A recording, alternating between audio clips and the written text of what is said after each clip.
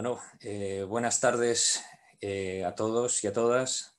Bienvenidos a, las terceras jornadas de la Fundación Española de Fibrosis Quística. Eh, estamos encantados de estar esta tarde con vosotros. nos hubiese gustado estar de forma presencial y en otras condiciones, pero bueno, dadas las circunstancias, gracias a la tecnología, pues nos permite estar aquí reunidos todos y poder compartir una tarde en donde esperamos que, sea fructífera y que bueno, pues los temas que se van a tratar, eh, que son de, vital interés, como puede ser la telemedicina o cómo, son, están ahora mismo actualmente los tratamientos eh, en fibrosis quística, una actualización a día de hoy. Y bueno, pues eh, sin más, vamos a doy paso a, al doctor Oscar Asensio, que nos acompaña hoy en, esta jornada y empezamos eh, pues la jornada de hoy. Bienvenidos. Ah, hola, bienvenidos a, la tercera jornada de actualización en fibrosis quística. Em, ya son seis años, eh, lo estamos haciendo cada, dos años y es un orgullo que esto pueda seguir adelante una iniciativa pues, eh, que fue impulsada por compañeros tanto de la sociedad científica como de la Federación, Amparo Soler, Tomás del Castillo, Blanca y que posteriormente hemos ido manteniendo. Este año ha sido un año complicado, eh, pero hemos querido mantener la celebración de las jornadas, aunque sea un formato más, más pequeño, para continuar dando impulso y visibilidad a la Fundación y demostrar un poco la colaboración entre la federación y, la sociedad científica. Y también para mantener pues, una formación continuada, actualizada de los temas que pueden ser de interés para, para ambas eh, asociaciones. La labor de este año de la Fundación ha sido muy importante y la relación con la sociedad científica muy estrecha y sin duda eso eh, ha sido artífice gracias a la dedicación de Juan da Silva, que quiero agradecer su, su trabajo y su dedicación. Hemos de seguir así y estamos diseñando un plan de actuación desde la Fundación con nuevos retos para el 2021 que espero pues, que vayan incrementando un poco los avances en dicha situación. Y sin más, pasaremos a, lo que son realmente las mesas de, esta reunión. Dos mesas que mm, esta primera voy a moderar yo y la, siguiente va a moderar Marina Blanco, que mm, van a basarse en, lo que es un poco eh, la telemedicina en la atención al paciente con fibrosis quística y en un repaso de la situación de los nuevos eh, medicamentos. La pandemia del COVID ha tenido evidentemente muchos problemas, ha dado muchos disgustos, pero también eh, sin duda ha acelerado algo que era inevitable. Nos ha abierto los ojos y nos ha puesto de manifiesto la necesidad de avanzar en el desarrollo de técnicas como la telemedicina. Esto, junto con la visita convencional, que probablemente no, no la vamos a dejar de hacer, son el presente y el futuro más allá incluso de cuando pasemos la, época COVID. Aún por definir y mejorar, lo que es evidente es que tiene innumerables ventajas la telemedicina, nos lo explicarán eh, los ponentes. Nos ha permitido mantener los controles en una situación de confinamiento, nos ha permitido reducir a las estrictamente necesarias las visitas presenciales, nos ha ayudado en la prevención de infecciones cruzadas entre pacientes en las unidades y sin duda también en el empoderamiento de los pacientes y sus familias en el control de la, enfermedad. Aún hemos de mejorar muchos aspectos, porque esto inicialmente ha sido, mm, en vez de telemedicina, ha sido visita telefónica. Inicialmente tenemos que ir mejorando la situación y precisamos para ello la implicación de la sanidad pública en la implementación de este nuevo modelo.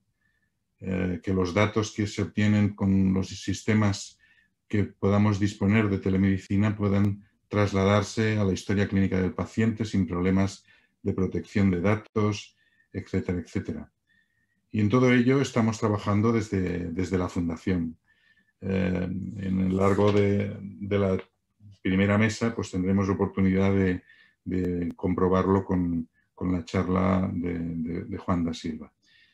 Y sin más, eh, eh, vamos a pasar al primer ponente, que en este caso va a ser el doctor Alejandro López Neira, neumólogo pediatra eh, del Hospital Niño Jesús y que es vocal y vicesecretario de la Junta Directiva de la Sociedad Española de Fibrosis Quística que nos va a hablar sobre telemedicina en fibrosis quística. Adelante, cuando quieras. Eh, hola, buenas tardes a todos. Eh, antes de nada, agradecer a, la Fundación la invitación para estar esta tarde con todos vosotros. Estos encuentros entre profesionales y pacientes y familias yo creo que son eh, algo que debemos de, mantener y son un punto de encuentro muy, muy importante para compartir las experiencias porque son puntos de vista distintos, pero al final todos estamos por lo mismo, que es mejorar el cuidado de nuestros pacientes con, fibrosis quística. Eh, la idea de, la próxima hora es hablar sobre, telemedicina.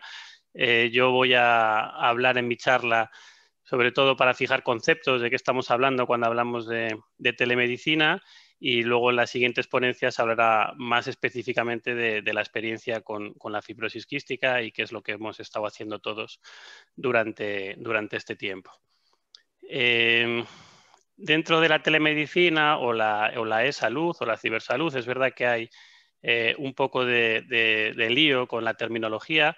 Si vamos a lo que define la Organización Mundial de la Salud, eh, ellos hablan de e-salud, que el término en castellano en realidad sería la cibersalud, aunque nos suena un poco raro, pero es así como debemos de, llamarla. En realidad es cualquier cosa que estemos utilizando tecnologías de la información y la comunicación y tenga que ver con, la salud. No es simplemente eh, la asistencia sanitaria, sino que todo lo que sea pues, documentación sanitaria, investigaciones, educación, eh, transmisión de conocimientos, todo esto se engloba dentro del, del término general de e-salud.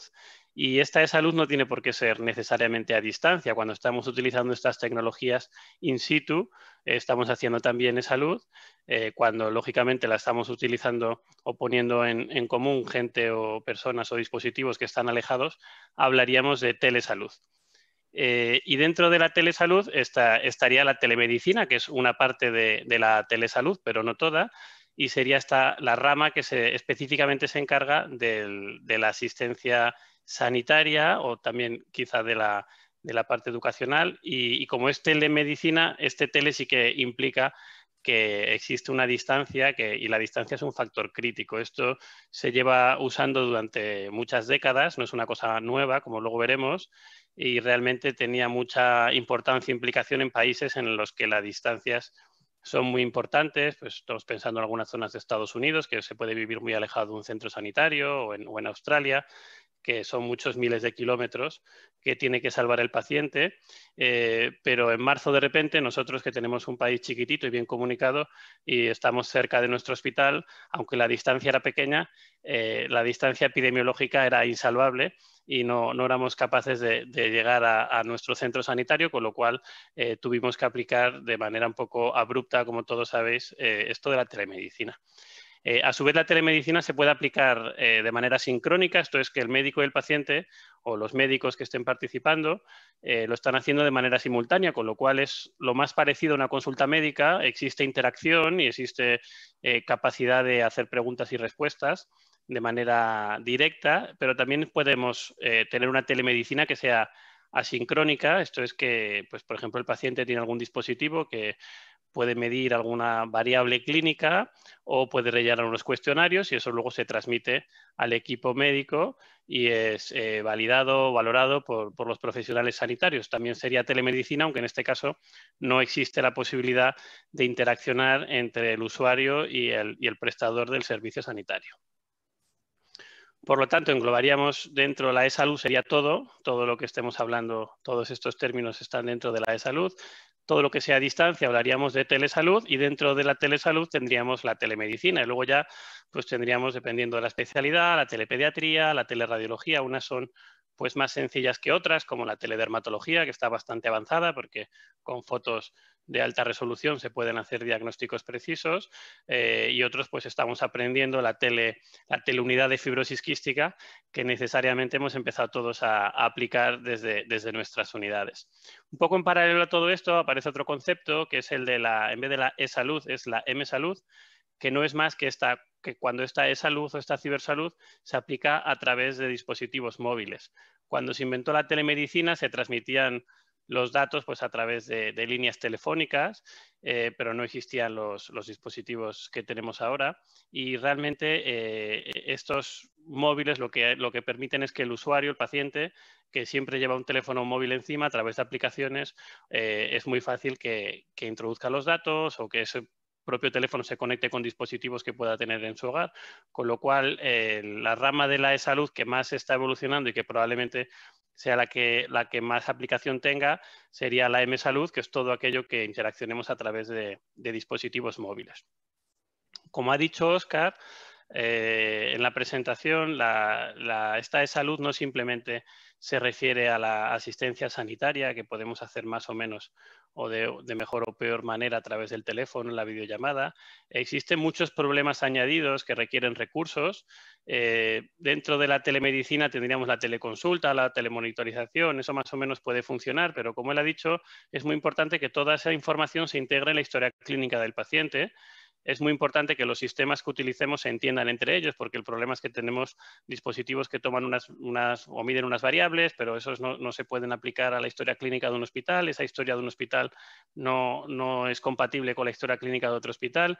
Entonces, hay que trabajar en sistemas que integren toda esa información de manera que eh, se quede resumida y toda junta para que el clínico pueda valorarla, porque si no es, muy complicado que, esto de la telemedicina o la, o la e-salud salga para adelante. Luego hay otros componentes, como veis, como la educación, que es algo que hemos pasado eh, a pues, prácticamente todo online, como estas jornadas, que, desgraciadamente tienen que ser así, que nos gusta más vernos las caras, pero que todas estas tecnologías nos permiten el, poder mantener esta, transmisión de conocimientos a través de las videollamadas realmente la telemedicina se puede aplicar en muchos ámbitos, no solo eh, el ámbito médico-paciente es el que se puede beneficiar de la telemedicina. Existe un ámbito sin pacientes en el que los clínicos tenemos que hablar entre nosotros muchas veces para discutir pues, casos complejos, para pedir opiniones de expertos. En nuestro ámbito de aplicación de las unidades de fibrosis quística, pues puede ser una herramienta para colaborar entre unidades más pequeñas con unidades de referencia para que puedan compartir información que, fue, que sea importante para los, pacientes. Y esto ya se hace en ámbitos, por ejemplo, de la dermatología con la atención primaria o dentro de la radiología. Y yo creo que es un campo que evidentemente hay que, hay que explorar en el futuro.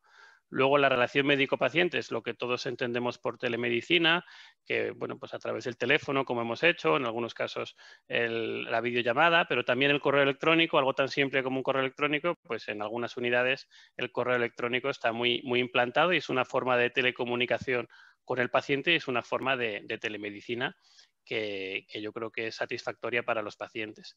Y luego otro tercer ámbito de aplicación, que es cuando el paciente interacciona con contenidos médicos, pero ya no hay una supervisión eh, en directo de un, de un, personal sanitario. Esto es pues, cualquier aplicación o cualquier web que contenga información, por ejemplo, sobre ejercicio físico en fibrosis quística o una aplicación que nos valga para eh, que nos vaya diciendo si los síntomas que tenemos son importantes o no, o una aplicación que nos esté ayudando con la dieta. ¿no? Todo eso es telemedicina. Evidentemente, los, los contenidos de esas aplicaciones están desarrollados o supervisados por personal sanitario, pero la interacción es directamente del paciente con, esa aplicación, con esa web o con esa información y en esa interacción no participa ya un profesional sanitario. Entonces yo creo que estos tres aspectos, que son aspectos diferentes, son eh, aspectos que tenemos que trabajar porque todos son beneficiosos para el, para el paciente. Si miramos a ver esto de la telemedicina, si nos ha llegado de repente, si hacemos una búsqueda en, en PubMed, que es como el, para los que no lo conozcáis, como el Google de los artículos científicos, donde nos metemos a, buscar las cosas los médicos y profesionales sanitarios.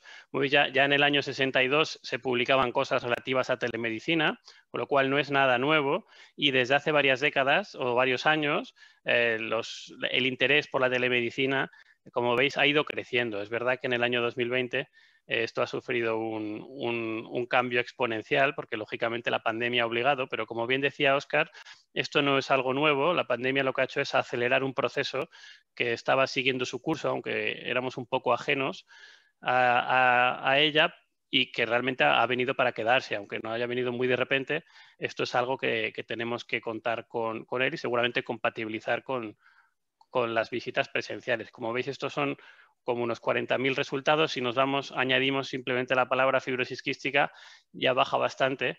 Y este es uno de los problemas que no, tenemos realmente eh, evidencias de cuál es el impacto que puede tener la telemedicina en los pacientes. Como luego se comentará, la mayoría de los estudios son estudios piloto y no hay, no hay variables a largo plazo, pero aún así, como veis, es algo que también se va trabajando y que lógicamente en este 2020 también se ha incrementado repasando un poco qué, cosas buenas nos trae la telemedicina y qué barreras o problemas tiene, eh, los, beneficios es importante saberlos para ver si merece la pena aplicar esto o no, que ya veréis que sí. Y luego las barreras y los problemas, eh, evidentemente hay que identificarlos para solucionarlos, porque si no, no los solucionamos va a ser imposible que, podamos implementar estos sistemas.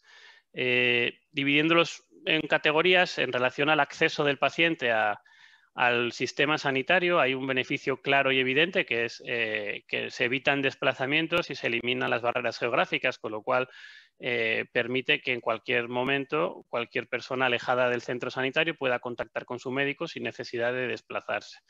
Luego también se pueden adecuar de alguna manera los horarios. Esto a veces no es tanta ventaja, es un poco inconveniente porque se nos amontona con la consulta habitual. Y, luego una ventaja crucial que tiene ahora para todos los pacientes en la pandemia, que es que nos deja en el hospital más espacio, más sitio físico para ver a los pacientes que realmente no podemos atender por vía telemática. Eh, esto en la fibrosis quística ya ocurría antes. En la fibrosis quística es una patología en la que las infecciones cruzadas son muy importantes, con lo cual probablemente tenemos que aprender de estas cosas que han ido pasando para adecuar las visitas de los pacientes y, eliminar ese riesgo de, de, infección cruzada que hipotéticamente puede existir cuando, cuando uno va al hospital. Luego nos ha brindado a los médicos también la posibilidad de teletrabajar, que era algo que veíamos con envidia de muchas otras profesiones y ahora pues con acceso a la historia clínica y una línea telefónica pues somos capaces de, pasar consulta y, poder también pues en, pues en, la pandemia, cuando estamos confinados o cuando hay algún problema familiar poder teletrabajar.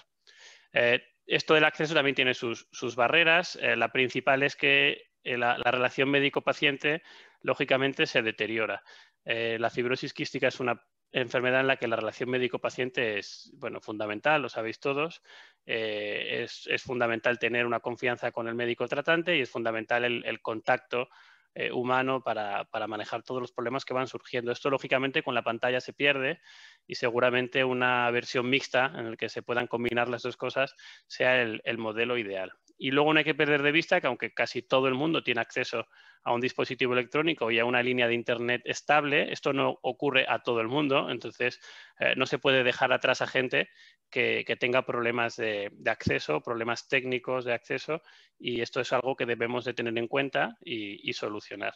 Y luego, evidentemente, los médicos pues no sabemos de todo y necesitamos también formación, necesitamos programas, necesitamos equipos para poder hacer, y esto a priori puede ser también un problema si no contamos con el apoyo institucional.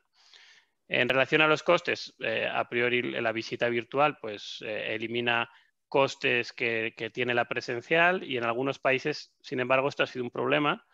Eh, los países en los que no existe una sanidad universal, como en España, o casi universal, y que se cobra por acto médico, pues han, han, tenido problemas para equiparar estas consultas con las consultas presenciales, con lo cual esto ha habido que generar códigos nuevos y ha habido ciertas dificultades y luego todo el, equipamiento y la formación también cuesta dinero y eso es un desembolso inicial que hay que tener en cuenta. Y luego ya un poco otros, otros beneficios y, ventajas que, podemos encontrar, pues sería coordinar las visitas, que varios profesionales puedan ver al paciente de manera simultánea, que esto no es, no es fácil de hacer de manera presencial por el número de gente y, y pueda haber más, más gente conectada de manera que la atención al paciente sea más integral y más coordinada. Eh, tiene un beneficio claro, como hemos dicho, en relación a la infección dentro del hospital o las infecciones eh, cruzadas. Y luego, si tenemos una vía fácil de acceso, pues pacientes que tengan cierta urgencia, es fácil contactar con ellos de manera rápida y en esa primera visita decidir, oye, pues tienes que ir a urgencias o esperativamente mañana o tomas este tratamiento y en dos días lo vemos a ver cómo te encuentras. y, por otro lado, inconvenientes lógicos está el de la exploración física. Realmente, hoy por hoy, lo único que no se puede hacer es palpar eh, incluso la auscultación existen dispositivos para que el, paciente se, ponga el, fonendo y, esto grave y le lleguen los sonidos al médico. Es algo que no estamos acostumbrados, pero existir existe. O sea que si se quiere se, puede hacer. Y luego hay cierta tendencia sobre tratar. Los médicos cuando no vemos al paciente nos da como un poco más de cosa dejar sin tratamiento y siempre te viene un poco la duda de, oye, pues, no sé, parece que está todo bien, pero por si acaso entonces hay, cierto riesgo de que se pongan más tratamientos de los, de los que realmente hagan falta. Y luego hay otro aspecto que ya se escapa un poco a, desde luego, a mis competencias y mis conocimientos, que son los temas legales y de protección de datos, que también ha comentado Oscar un poco por encima, que, esto necesitamos que haya un apoyo institucional y que todo esto esté reglado en el contexto de una estrategia de los hospitales en los que trabajamos y probablemente de las consejerías de salud, porque, porque si vamos por libre nos vamos a saltar seguro las, las normas. Eh, hay incluso problemas legales porque la telemedicina no impediría que pudiera consultarte un paciente de Francia o de Colombia. Y, claro, ahí ya estamos aplicando un médico en un país, un paciente en otro. Hay, muchos problemas de qué legislación aplica. Y bueno, si va todo bien, nunca pasa nada, pero cuando haya un problema hay que tener claro y estar cubierto para que todo eso se haga de manera adecuada. Y eso, lógicamente, yo creo que ni pacientes ni médicos tenemos conocimientos y debemos dejarnos guiar por, las instituciones. Entonces, bueno, esto sería un poco nuestro objetivo a, no sé, a medio plazo, vamos a decir, para no ser demasiado pesimistas, eh, que tengamos pues varias pantallas, las pruebas médicas, el paciente con, con, la familia a otro lado, la cámara, un espacio tranquilo, sin interrupciones, sin que, sin que nos molesten. Y esto es un poco lo que hemos estado haciendo eh, desde marzo, pues eh, casi con, bueno, ella por lo menos tiene los cascos, nosotros teníamos que estar así sujetando el, teléfono mientras escribíamos. Entonces es verdad que hemos empezado muy en precario, pero no tenemos que perder de vista dónde queremos llegar, que sería la, foto de la izquierda. ¿Y qué necesitamos para llegar a eso? Bueno, necesitamos, como, como ha comentado Oscar, os he comentado antes, eh, es imprescindible el apoyo institucional y esto tiene que ser una estrategia eh, de, las, desde las instituciones, desde las consejerías y desde los hospitales, a la que nosotros tenemos que sumarnos, no podemos dejar pasar el tren, tenemos que estar ahí porque la patología que manejamos yo creo que se puede beneficiar de manera clara y evidente de la telemedicina. Y luego hace falta pues las cosas, pues un, software de videoconferencia, esto es relativamente fácil, la cámara de vídeo y eso pues son dos duros, eso no debería ser un problema pero sí necesitamos, por ejemplo, reorientar nuestras agendas de trabajo para tener espacios o horas predefinidas para teleconsulta, no puede ser que estén mezcladas unas con otras, porque luego se te come el tiempo del que tienes ahí delante, no llamas al paciente cuando tienes que llamarle, tampoco el paciente puede estar toda la mañana pendiente de, no, es que me van a llamar el día 14 y estoy el día 14 toda la mañana al teléfono y me llama a las 3 de la tarde, ¿no? El paciente tiene que tener su hora como cuando tiene una cita presencial y esto hay que agendarlo y tiene que estar organizado. Y luego, que yo creo que se comentará un poco más, pues hay herramientas y, dispositivos que el paciente puede tener en casa que nos pueden ayudar a medir pues, variables de interés, en nuestro caso espirómetros o medidores de saturación de oxígeno, de otras variables biológicas que nos pueden ayudar. Eso sí que tiene un coste importante porque el costo no es uno por unidad, que sería la cámara y el ordenador, sino uno por paciente, con lo cual el coste se multiplica, pero evidentemente eh, es algo que necesitamos para mejorar la asistencia en esa teleconsulta. Y luego es fundamental el consentimiento del paciente. Eh, hoy por hoy el estándar de, tratamiento mm, de, visita del paciente es la presencial, entonces eh, yo creo que tampoco nadie se, niega a hacer la teleconsulta, pero, pero por lo menos hay que preguntarle si está de acuerdo el paciente, si consideran que es adecuado hacer la visita telemática, porque si no, pues habrá que buscarle un hueco para verle en el hospital. En fibrosis quística en concreto, ¿cuándo es adecuado ver a los pacientes? Pues para eso la, Sociedad Española de, Patología Torácica ha hecho una guía y entre ellas hay un apartado para fibrosis quística, pero básicamente lo que todos tenemos en la cabeza y que podemos ver de manera telemática un paciente que esté estable, al que conozcamos bien, que esto es verdad que en la fibrosis quística todos les conocemos muy bien, eh, que, sepamos que va a ser adecuada la teleconsulta, que no sea pues un paciente que va un poco más perdido o que tiene algunas dificultades, por ejemplo, de acceso a la medicación o, hemos identificado que tiene problemas de adherencia o para entender algunos tratamientos, esos pacientes tienen que venir al hospital, no los podemos ver de manera telemática. Pero todos los pacientes estables que conozcan su enfermedad, que yo creo que en concreto en la fibrosis quística son todos, por no decir, vamos, eh, prácticamente todos, eh, yo creo que, son pacientes buenos candidatos y siempre cuando estén eh, estables. Nunca debemos hacerlo. Si hemos puesto un tratamiento y no va bien, pues hay que verle. Si tiene síntomas importantes, hay que verle. O si son situaciones en las que hay dudas o por el paciente, parte del paciente o por parte del médico. Si no estamos todos tranquilos en que eso está funcionando bien, hay que venirse al hospital y buscar la manera de verle de manera presencial. Y para terminar ya las conclusiones, pues eh, simplemente decir que la e-salud o cibersalud o la telemedicina o como queramos llamarlo, todas las ramas de la e-salud, eh, son herramientas que son válidas, que son eficientes y que son complementarias a nuestras visitas presenciales. Eh, han llegado de repente por, bueno, por, la epidemia y porque no había otro remedio, pero yo creo que han llegado para quedarse y tenemos que conseguir que se queden de manera adecuada.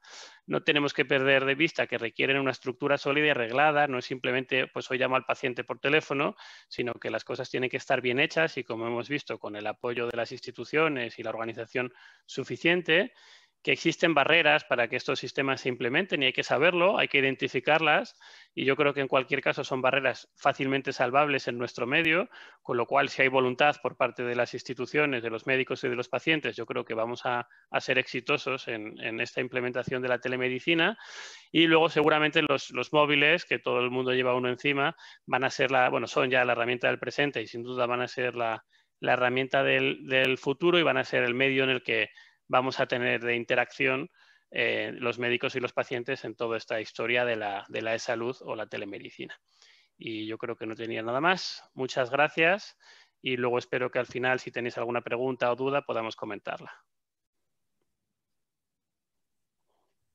Ah, muy bien, pues muchas gracias. Sí, vamos a hacer las preguntas al final porque el tema es el mismo. Y vamos a seguir con la, segunda ponencia, en este caso de mi amiga Esther. ¿Perdona? Ah, perdona. Pues eh, nada, dar paso a mi amiga Esther Quintana, que es neumóloga de, adultos del Hospital Virgen de Rocío de, Sevilla y es la coordinadora responsable de la unidad de fibrosis quística y investigadora, amiga y compañera que nos va a seguir hablando sobre, sobre estos temas. Venga, adelante. Bueno, dar las gracias a la Fundación por haberme invitado a participar en estas, en estas jornadas.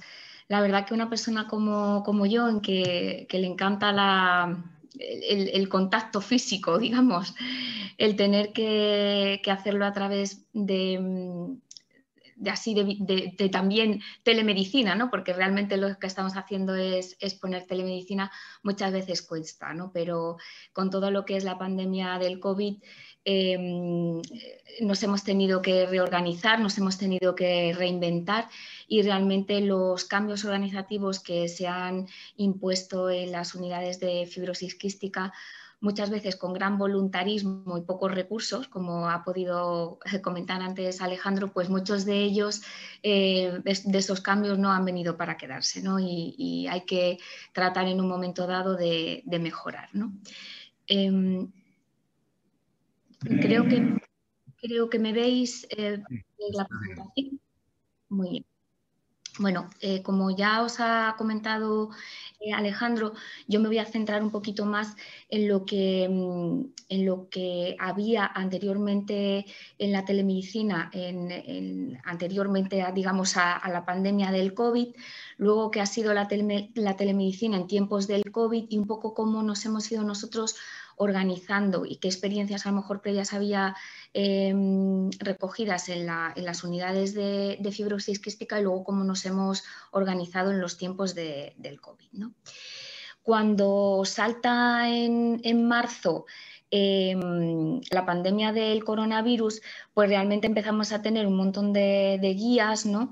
Eh, de práctica clínica que ya nos dicen que, realmente pues que tenemos que tratar de evitar todo lo que sean las consultas innecesarias al, hospital. Y a partir de ahí, pues empezamos a, cancelar y a tratar en un momento dado de regular todo lo más posible los canales a través de, la, a través de telemedicina. ¿no?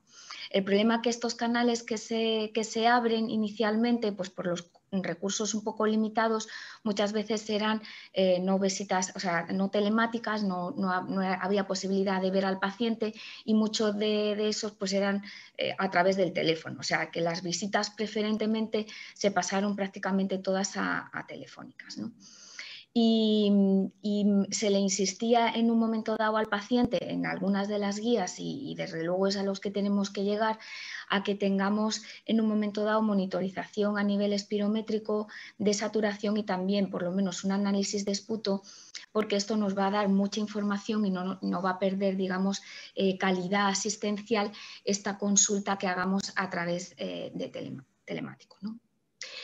Y mm, como os he comentado, bueno, pues realmente em, al principio de, la, pandemia pensábamos que esto iba a ser totalmente transitorio y que algunas herramientas que habíamos empezado a implementar pues iban a quedar transitorias, pero esto ha, llegado para quedarse, ¿no? Y es una herramienta que tenemos que empezarle a sacar mucho partido, ¿no? y porque puede ser muy importante para el seguimiento de todos nuestros pacientes con respecto a la telemedicina, las cosas que había en fibrosis, porque la telemedicina realmente se empieza, como ha comentado eh, Alejandro, a fraguar en los años 80 eh, cuando las, las, tecnologías de la comunicación empiezan a desarrollarse más, aunque ha sido en los últimos años, sobre todo con la explosión de los medios de texto, de vídeo y sobre todo el teléfono, lo que nos eh, ha, permitido también en la fibrosis quística y en algunas unidades a nivel mundial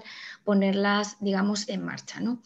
Entonces, en países, por ejemplo, en los que hay muchísima extensión geográfica, pues tienen implementadas consultas ya eh, a través de, la telemedicina. También eh, se han visto monitorizaciones funcionales de la, respiratorias también para eh, fomentar en un momento dado la intervención temprana. Entonces, hay estudios publicados, por ejemplo, para detección de exacerbaciones precoces, en las que se mandaba al paciente a casa eh, cuestionarios junto con espirómetros y, saturímetros para que el paciente se fuera monitorizando y esto se, eh, digamos, le, iba llegando al médico una forma de detección precoz de, de exacerbaciones. ¿no? También tenéis que tener en cuenta que, el hecho de no tener que acudir al hospital también es importante en la reducción de costes. Y esto se había valorado ya en algunos estudios piloto también dentro de la fibrosis quística. Y luego, eh, tan importante para nosotros, el hecho de la prevención de las infecciones cruzadas. ¿no? O sea, cuanto menos contacto tengamos entre, entre los pacientes y cuanto menos tengan que venir al, hospital, realmente menos mm, riesgo vamos a tener de infección cruzada. Entonces, eh, también había experiencias, ya os digo que todo esto es muy cortito en, en, algunos artículos que se habían publicado, en relación a las ventajas que podría tener el hecho de la telemedicina en la prevención de la infección cruzada. Ahí abajo en la diapositiva yo os pongo dos programas, uno es el SmartCare eh, CF Program y otro el CF Health Hub. Em, el, el SmartCare es una aplicación eh, inteligente dentro de los teléfonos móviles que se pueden personalizar para eh, transmitir datos de monitorización diarias desde el domicilio hacia, los, hacia el hospital. Entonces, este puede monitorizar tanto la función pulmonar, puede hacer eh, son actímetros en el sentido de que miden la actividad física diaria, eh, pueden también medir la oxigenación con los oxímetros pueden medir también eh, las calorías que uno consume e incluso se pueden meter los síntomas del paciente. Y esto lo puede utilizar tanto los cuidadores como el, propio paciente transmitiéndose en tiempo real Y luego tenemos el otro, la otra herramienta que es el CF Health Hub, eh, que es una, web que está diseñada para permitir a las, personas con fibrosis quística el administrar todos los tratamientos eh, diarios. ¿no? Entonces, lo que dan son como vídeos educacionales y, y, se puede meter datos de adherencia de los nebulizadores que se pueden medir en tiempo real. Entonces, como podéis ver, realmente pues había muy poca, muy poca cosa. ¿no? O los resultados eran, eran poquitos, escasos, la mayoría eran estudios piloto y de viabilidad, pero lo que es un, impacto de cómo la telemedicina eh, impacta sobre eh, pues, adherencia, em, resultados clínicos en salud realmente a largo plazo, pues falta todavía por, por determinar. ¿no? Y bueno, y en todo esto pues nos viene pues lo gordo ¿no? de, la, pandemia del coronavirus que realmente nos exige que de un día para otro pues la presencia de los pacientes en la consulta externa pues se limite muchísimo. ¿no? Entonces mm, yo creo que aquí con más ingenio que otra cosa pues empezamos a, idear las, las visitas a través telefónico, también en muchas unidades se han implementado pues, a través del email que ya existían en algunas unidades, pero pues, en este momento pues, se ha potenciado mucho más y luego pues, las videollamadas. Todo esto quiero deciros que es muy importante eh, a nivel eh, legal, como ha comentado antes em, Alejandro, que, bueno, pues que tenga un consentimiento informado y que todo se haga con confidencialidad y con seguridad de la información, porque es muy importante que no se pierda ni un ápice de la calidad en la asistencia eh, que damos presencial. Y, en ese sentido es muy importante también pues, que todas las instituciones sanitarias pues, se, impliquen en esto, ¿no? porque digamos que una llamada telefónica pues, tiene que estar protegida, los emails también deben estar protegidos y las videollamadas pues, deben hacerse a través de, de plataformas pues, también que estén en ese sentido bastante protegidas. ¿no? Eh, esto ya os lo ha comentado también eh, Alejandro, em, eh, la, Sociedad Española del Aparato Respiratorio sacó en, en, el mes de julio una guía que venían más de 20 enfermedades respiratorias, entre las cuales también viene la fibrosis quística en las que nos decía un poco cómo evaluar a través de la teleconsulta al paciente en estos tiempos ya del coronavirus. ¿no? Importante decir que en la fibrosis quística pues establecía que los niños pues muy pequeñitos, por supuesto el screening neonatal pues no se puede hacer a través de, teleconsulta, ¿no? Y, es, muy importante que el paciente esté eh, estable, ¿no? y, que se haya conocido pues por la unidad y que se pueda establecer, digamos, un seguimiento regular, ¿no? Estas teleconsultas nos pueden servir tanto para los seguimientos periódicos del paciente como para que en el caso de, que el paciente sea de una alta hospitalaria precoz, pues hacerle una, consulta eh, telemática también para, esto. Y bueno, por supuesto, pues si alguna vez surgen algunas dudas y en relación a visitas no programadas, pues también se podrían hacer a través telemático. El cómo, ¿no? Pues aquí yo mm, también quiero, quiero insistir en el hecho de, que es importante los recursos, ¿no? Que tengamos unos recursos adecuados, eh, que, que en la consulta tengamos tranquilidad, que mm, tratemos de no demorarnos eh, en lo posible a la hora de las, de las, de las llamadas, porque tenéis que, tener en cuenta que también estas llamadas no pueden eternizarse ¿no? y que digamos que tienen que tener un registro del tiempo invertido. ¿no? Tenemos que tener e-, equipos adecuados, que muchas veces como yo me he sentido muy identificada cuando Alejandro ha dicho lo de la llamada, porque yo ya no sabía si escribir, al final pues terminaba escribiendo y luego pasándolo al ordenador, ¿no? porque muchas veces es que es realmente complicado. Entonces, tenemos que tener equipos adecuados, que tengan una buena calidad de imagen, por supuesto que no falle la comunicación, que muchas veces se entrecorta. Y, esto es, digamos, tremendamente importante que, lo tengamos presente. ¿no? Em, a la hora, por ejemplo, de, del paciente es muy importante que vosotros también eh, busquéis la privacidad, esa misma privacidad que, mm, buscamos, que tiene que buscar el médico dentro de la consulta, es importante también que el paciente lo tenga, ¿no? Y que eh, ya que sabe que realmente se le va a llamar en una franja horaria, pues que lo tenga presente, que busque un sitio en el que pueda estar tranquilo y em, que tiene que tener en cuenta que es importante que se realice un informe y que, lo reciba para también todo el tema de la medicación, que no haya ningún tipo de, dudas en el caso de que se haya hecho algún tipo de cambio del tratamiento. Em, en, relación a, con qué tipo de cosas em, sería ideal, ideal que eh, pudiéramos empezar a disponer de espirómetros portátiles. En casa realmente pues todos podéis tener básculas, podéis tener tallímetros, em, algunos pacientes también disponían de pulsiosímetros, pero es importante también que digamos de cara ya más a, futuro, pues todo este tipo de, cosas puedan estar digamos en, casa de los pacientes para poder hacer unos seguimientos de una manera muchísimo más reglada, más regular que nos den información eh, para que no haya, como digo yo, una pérdida de la calidad asistencial en relación a la visita presencial.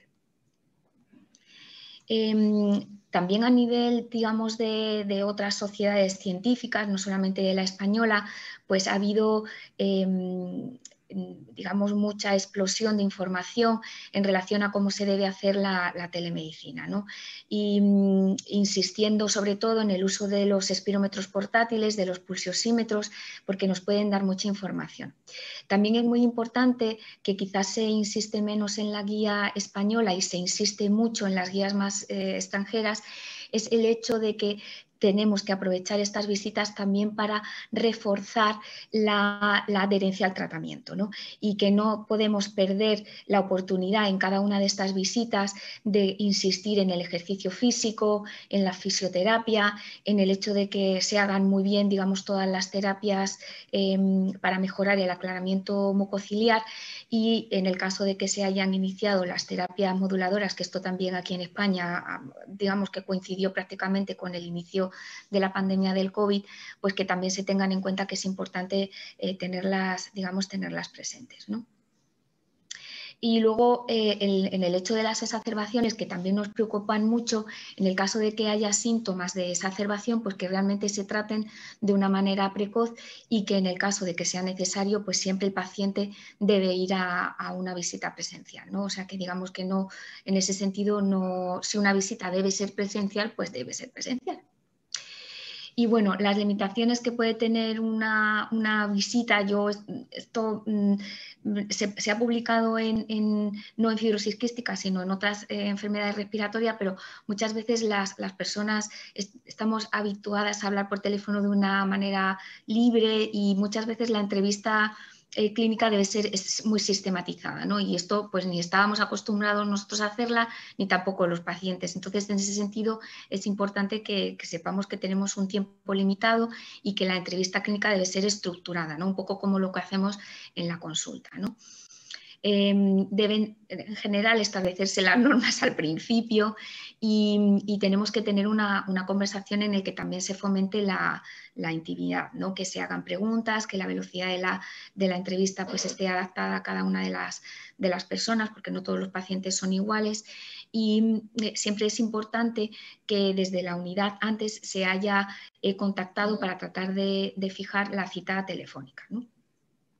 Eh, como sugerencia, muchas veces nuestro tono de voz es, puede ser también una herramienta visual, ¿no? y, esto también es importante, que adaptemos el ritmo, ritmo. Nosotros los médicos que utilicemos un lenguaje accesible porque no nos estáis viendo en ese sentido muchas veces la cara y que utilicemos preguntas concretas, que las hagamos una a una y que al final hagamos recordatorios finales de todo lo que se ha hablado. ¿no?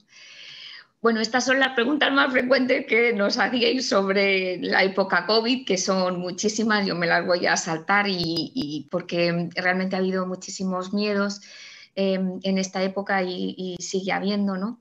la época del trabajo en los adultos, la época de la escolarización en los niños y bueno, también desde la sociedad científica y de, con colaboración con la, con la federación y la fundación, pues se ha tratado también de dar eh, muchas respuesta a, todas estas preguntas y yo creo que se ha hecho un trabajo colaborativo bastante, bastante bueno en este sentido. Estos son los dos espirómetros que yo, mm, bueno, digamos que nosotros en, la unidad estamos, vamos a empezar ya con el, con el que aparece con el nuevo WER. Em, porque estamos intentando que nos den becas de financiación para tenerlos y poderlos mandar a, los pacientes. Esto realmente es, costoso, pero luego una vez que se implementan, la verdad que, em, pues son relativamente útiles y por lo menos para los pacientes que tengan una función pulmonar em, más eh, cortita y, nos preocupen, pues realmente se deberían eh, implementar. Y bueno, la experiencia de las unidades ha sido mucha. En este artículo que publicó eh, Pedro Mondejar sobre el COVID en, la, primera ola, ya veis ahí en la pregunta 8, o sea que prácticamente todos los pacientes, o la mayoría de, pues se habían hecho visitas a nivel, eh, sobre todo telefónico, ¿no? y que las visitas a nivel presencial pues se habían eh, limitado muchísimo, pero que la satisfacción en ese sentido con la visita eh, telefónica pues estaba siendo importante y se estaba en ese sentido también dando respuesta.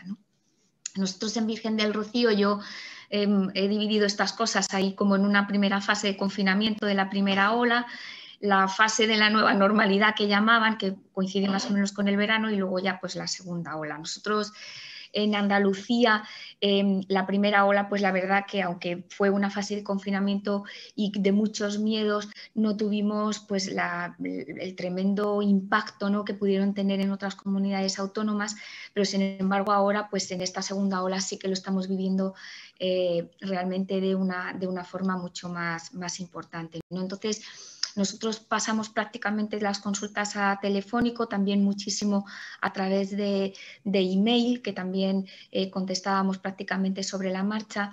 Eh, decir que hicimos consultas de, educación sanitaria eh, por parte del enfermero que llamaba a los pacientes. Por supuesto, se hicieron consultas presenciales de todo lo que era urgencias y las consultas del cribado bueno, no, se, no se pararon y, también pues, tuvieron que venir al hospital. ¿no? Y bueno, mm, Em, hubo, tengo que decir, bastante menos hospitalizaciones de lo que ha habido otros años si lo comparamos en la misma época que, surgió la primera ola.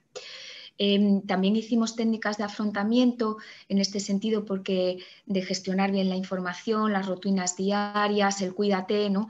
En ese sentido un poco guiados por lo que comentábamos de, insistir en las adherencias al tratamiento que son tan importantes, el que también se insistan en la telemedicina. ¿no?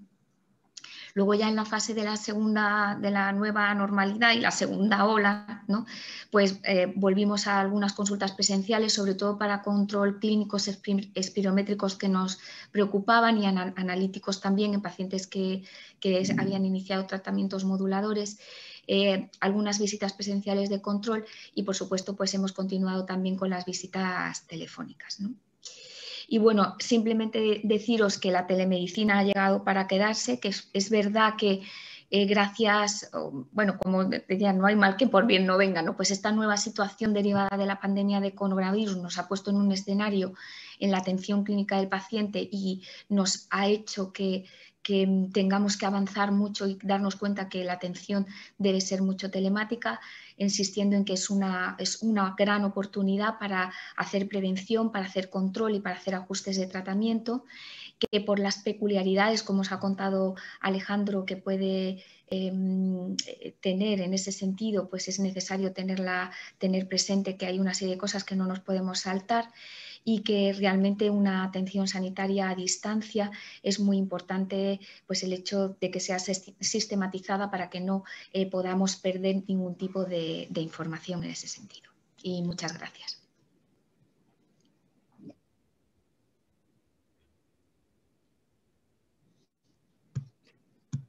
Muy bien, Esther. Eh, gracias por la revisión.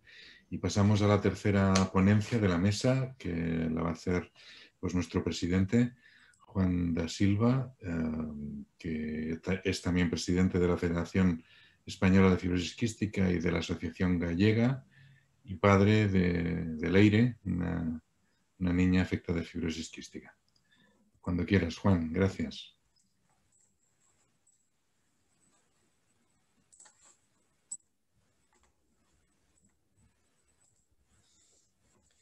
Bueno, pues eh, a ver, la verdad es que eh, todo lo que se ha hecho durante, durante este año por parte de, los profesionales es para sacarse sombrero. Desde luego, eh, con todos los inconvenientes y con toda la exceso de carga de trabajo que, ha habido durante todos estos meses, es admirable cómo, cómo se ha afrontado y aún, aún habéis tenido tiempo a, bueno, pues a pensar eh, y buscar alternativas para poder seguir haciendo eh, vuestro trabajo, ¿no? Y sobre todo el, hacer el seguimiento de, nuestro colectivo, ¿no? En este caso.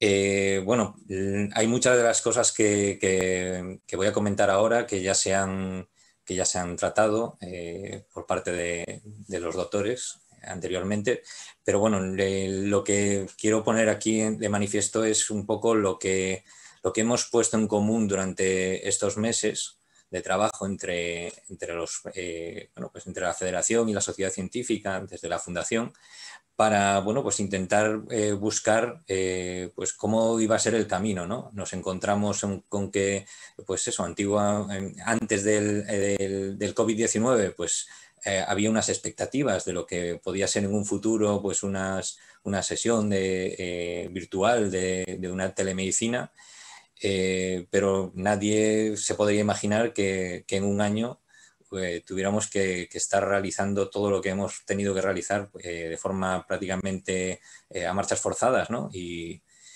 bueno, pues aplicando de ingenio y muchas veces pues con, no con, todas las, con todos los medios que, nos hubiese gustado que, hubiese. Pero bueno, pues precisamente por, por, eso pues hemos puesto encima de la mesa eh, todo lo que se ha ido recopilando, la experiencia que hemos tenido durante todos estos meses y desde la Fundación pues hemos intentado eh, plasmarlo en un proyecto que estamos eh, ahora mismo en proceso de búsqueda activa de financiación para que bueno, pues, podamos llevarlo a cabo Está claro que el objetivo de este proyecto no es eh, eh, sustituir ni reemplazar el, Sistema Nacional de Salud, sino que poner encima de, la mesa pues, eh, la experiencia que podamos obtener en la realización de este proyecto para que las administraciones de las diferentes comunidades autónomas sanitarias pues, que puedan ver pues, cuál es la experiencia y eh, implementarlas dentro del Sistema Nacional de Salud, eh, de tal manera que, bueno, pues que podamos poco a poco disponer de estas herramientas en las consultas de, nuestros médicos, eh, que, las que podamos tener estas herramientas también en, los domicilios de, las personas y protocolarizar lo que está claro que se ha, repetido a lo largo de las otras dos charlas, que efectivamente tenemos un problema, bueno, 17 problemas, que son que tenemos, no tenemos un registro eh, sanitario común, sino que cada comunidad autónoma tiene eh, sus sistemas informáticos y que eh, a su vez, incluso dentro de las mismas comunidades autónomas, incluso los propios hospitales tienen sus, sistemas de gestión. Entonces, eso quizás ha sido el hándicap que, más quebraderos de cabeza nos ha dado a la hora de elaborar el proyecto finalmente hemos optado porque eh, lo, que es la información que se pueda recopilar durante este proyecto sea directamente en los propios sistemas de, cada hospital, que eso, bueno, pues al final pues, eh, permitirá eh, evitar el problema que podemos tener de, incompatibilidad de sistemas, etcétera, y el tema de la protección de datos. en un principio, pues eh, como bien comentaban antes los doctores, pues eso, la situación en la que, hemos estado viviendo eh, ha sido una situación crítica, una situación en la que no se desconoce, conocía ni conoce aún del todo pues cuál es el impacto que, iba a tocar en el colectivo y siempre que, hay algo que no se conoce, pues siempre hay que ser precavidos, ¿no? Entonces, bueno, pues la, intención de poner encima de la mesa pues, una herramienta que permitiera hacer ese seguimiento que no se podía hacer de forma presencial, sobre todo durante la primera ola, eh, se vio claramente que la telemedicina eh, era algo que, bueno, pues que teníamos ahí que podíamos eh, utilizar.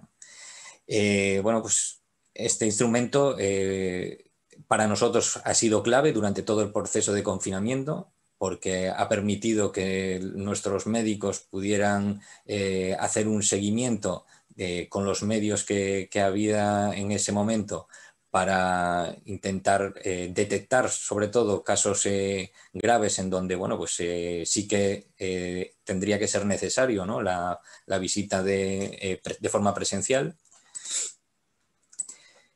Y bueno, pues también teníamos presente y teníamos claro que, desde siempre en nuestro colectivo las infecciones cruzadas siempre, siempre han estado ahí. Son, es algo, un problema que, que estamos acostumbrados a, a, lidiar y es algo que, bueno, pues que, haya, haya, COVID o no haya COVID, eh, va a estar ahí, ¿no? Por, desgracia.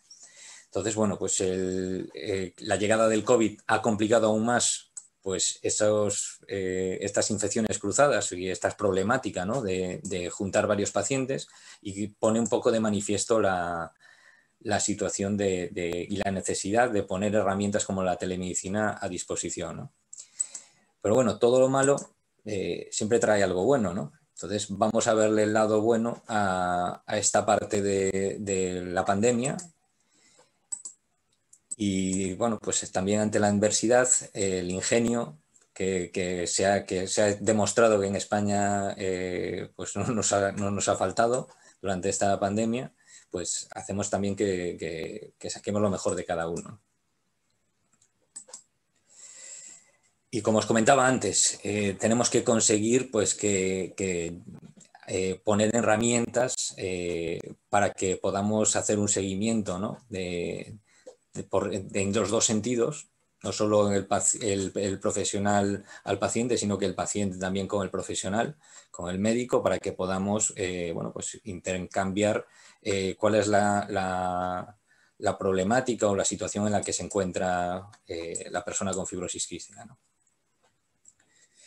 Para ello, bueno, pues el, proyecto se basa también en que tenemos que poner herramientas eh, en los dos lados, en la parte del médico, como bien comentaba el, doctor eh, Alejandro Neira y, la doctora Esther Quintana, efectivamente hacen falta adecuar los medios a nivel de, la consulta para que el, profesional pueda eh, eh, estar viendo al paciente y también estar viendo a lo mejor pues, un resultado en otra pantalla, que, que, nos, que, no tape una cosa eh, delante de la otra.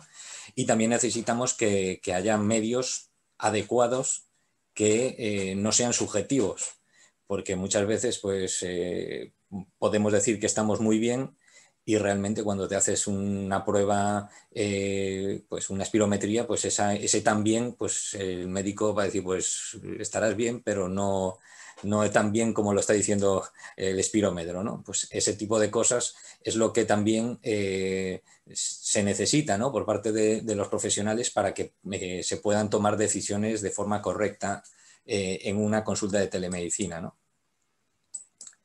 Y para ello, bueno, pues eh, necesitamos el espirómetro, como bien comentaba antes eh, la doctora Quintana, un medio, una tablet, un dispositivo que, bueno, pues, eh, en donde poder usar una plataforma para comunicarse con, con el profesional eh, un medidor de bioparámetros que bueno, pues, eh, funciona de una forma similar al Pulsi, pero aparte de, lo que, de los parámetros de, oxigenación en sangre que da un Pulsi, pues eh, este dispositivo da más parámetros y más información al profesional. Es totalmente indoloro, o sea, funciona exactamente igual que un Pulsi. Y eh, como también comentaba el doctor Neira, eh, un, estetoscopio electrónico que también permita pues, hacer una, exploración eh, de forma totalmente virtual y que, bueno, pues que el, propio, el propio paciente o el propio familiar pueda hacer esa exploración y bueno, pues reemplazar un poco o, sustituir un poco la exploración que te pueden hacer en la consulta de forma presencial. Eh, por supuesto, ¿no? esto, lo que es la telemedicina es una herramienta más, no, se pretende en ningún momento la sustitución y el reemplazo de, una, de, una consulta presencial, sino que, bueno, pues combinada, como bien comentaban antes, es una herramienta que, puede ayudar a, bueno, pues, a agilizar muchas veces consultas y, a dar acceso a, sobre todo a lo mejor a consultas urgentes, por ejemplo. Por supuesto que, como comentaban antes eh, es importante que, estén gestionadas y de forma correcta para que, bueno, pues que no se mezclen eh, consultas presenciales con las de, con las de, telemedicina. Eh, y también ayuda a romper un poco el hándicap que muchas veces en los hospitales también nos encontramos, ¿no? que, a lo mejor no, no, es posible o no es fácil pues a lo mejor tener una consulta eh, conjunta con diferentes especialidades que, realmente son muy importantes en, fibrosis quística y que bueno, pues con esta herramienta también ayudaría a que, eh, bueno, pues si a lo mejor presencialmente eh, es complejo realizar esa consulta con las diferentes especialidades, en la telemedicina bueno, pues habría que tener en cuenta también esa coordinación e intentar eh, tenerlo encima de la mesa también y de forma presente de, cómo eh, poder hacer esas consultas de forma eh, multidisciplinar. Otra de las ventajas, por supuesto, mejora la calidad de, vida del paciente, porque bueno, pues lo principal es que se va, digamos, al reducir el tiempo en el que se va a, realizar la consulta, porque bueno, evitaremos el desplazamiento no de todas las, eh, de todas las consultas, pero sí de una eh, parte importante de ellas, y eh, pues también podremos también evitar o reducir el riesgo de, esas infecciones cruzadas que, bueno, pues que tanto miedo muchas veces hay ¿no? en determinados momentos. Y bueno, pues lo que comentaba antes también, ¿no? pues contribuye un poco a facilitar la comunicación eh, ambidireccional en, los dos sentidos. Con esto, bueno, pues eh, posibilita eh, una motorización de, lo que es la, persona con fibrosis quística en su domicilio. por supuesto, como comentó antes la doctora Quintana, habría que complementarlo con una recogida de muestras, sobre todo cuando bueno, pues la consulta de, telemedicina mm, implica pues a lo mejor un largo periodo de tiempo en donde no va a haber una, presencialidad y es, interesante o necesario pues el, tener una recogida de muestra de esputo para, saber exactamente cómo es la situación de, la persona. Y sobre todo también que, bueno, pues mm, lo que es la, posibilidad de, ampliarse esta experiencia que podamos tener en el, proyecto a otras patologías, eh, pues en este caso de ámbito respiratorio, pero que posiblemente también se puedan adaptar a otras enfermedades crónicas en donde bueno, pues la necesidad o de las consultas de forma frecuente eh, en los hospitales pues pueda también verse beneficiado el, el, bueno, pues el ver reducido esa, esas eh, consultas de forma tan continuada. Y bueno, como lo comentaba antes, eh, nuestros profesionales lo han dado todo en la pandemia, lo estáis dando todo en la pandemia. La verdad es que, eh, no me cansaré de decirlo, sois titánicos, lo que estáis haciendo es, bueno, para mí impresionante. Y ahora, bueno, pues ah, también es hora de que se reconozca y que se ponga un poco a disposición los medios necesarios para que podáis eh, realizar vuestra tarea lo mejor posible ¿no? y que podáis hacer el trabajo eh, en condiciones adecuadas. Y desde luego, pues eh, de parte de, de, las personas con fibrosis quística y de los familiares, eh, a los que represento desde la, desde la Fundación y de la Federación, eh, deciros que, haremos todo lo posible para que, bueno, pues que, esta pandemia eh, también no, no, se olvide pronto y que no se olvide una vez que pase y que ya tengamos vacuna y que estemos todos vacunados, de que esos medios son necesarios y que esa inversión en, en los profesionales y en la salud eh, pública de nuestro país, pues no se puede dejar en un segundo plano. Bueno, muchísimas gracias.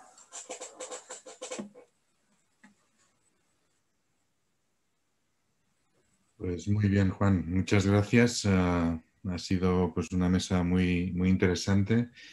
Por desgracia nos hemos comido un poco del tiempo, pero por lo menos un par de preguntas me gustaría lanzaros y, mm, al respecto, ¿no? Aunque, mm, eh, bueno, os la lanzo a los tres y cada uno libremente, si acaso, pues lo puede responder quien quiera. La primera es si eh, nos pregunta un, participante sobre la, si existe normativa que regule el uso de la telemedicina o depende de la voluntad de cada médico.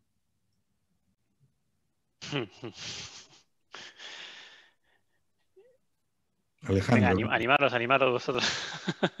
yo, que yo sepa, normativa en cuanto a si es necesario, obligatorio que el médico haga eso o si existe una normativa legal. Eh, yo creo que ni una cosa ni la otra, al menos yo no la conozco. Yo creo que depende mucho de la voluntad, o de momento a día de hoy, depende mucho de la voluntad de, cada médico. Yo creo que en general en el mundo este de la fibrosis todos tenemos muy buena voluntad, pero cuando aplicamos a lo mejor a otras consultas que, pasamos, pues es verdad que, a lo mejor no hay tanta, ¿no? Eh, yo no sé hasta qué punto llegará un momento que, puedan obligar a que sea una prestación del sistema sanitario, igual que tienes que pasar consulta, tengas que pasar consulta telemática. Supongo que llegará un momento que eso ocurrirá, porque estará normalizado y será parte de nuestra rutina, pero yo, si alguno tiene otra información, yo creo que a día de hoy no hay nada que lo regule y depende mucho de la voluntad de cada uno. Sí, vamos, yo el conocimiento que tengo es un poco como el de Alejandro, o sea, normativa, normativa que diga una consulta de telemedicina tiene que tener esto, esto, esto, y si no, no cumple los criterios, eso como así tal cual no existe. Si es verdad que, es, lo que sí está regulado son que, que tiene que ser confidencial, que debe haber seguridad en la información, que debe tener una Em, que debes cumplir la ley de protección de datos en el caso de que lo, la, lleves a cabo para que no, digamos, no haya en ese sentido eh, problemas, ¿no? Pero, o sea, normativas legales ahora mismo que te digan exactamente qué es lo que tienes que tener dentro de una, de una consulta telemática, no, yo, yo no conozco que, existan. ¿eh? pero vamos, regulaciones, ya te digo, en relación a, a la seguridad, confidencialidad de la información, en ese sentido sí, y que deben eh, tener también consentimiento informado, eso también sí que, existe una, vamos, que, sí que está regulado, ¿no? O sea que en ese sentido sí. En algunas, en algunas unidades ah, o en algunos hospitales y en función un poco de la, de la epidemia, sí que se reguló, concretamente en nuestro hospital, los porcentajes que tenían que mantenerse de presenciales y mínimos y de, y de telemáticas eh, eh, en función un poco de cómo iba la, epidemia. Pero realmente que sepamos no, no, hay ninguna normativa, pero probablemente se tendrá o se está trabajando o se tendrá que trabajar. La segunda pregunta es eh, sobre si las unidades están dotadas del material necesario o si estos instrumentos los tendrá que adquirir los pacientes, qué precios tienen, qué, qué opináis. Esther, si acaso empieza tú y después. Venga, y luego Alejandro. Vale.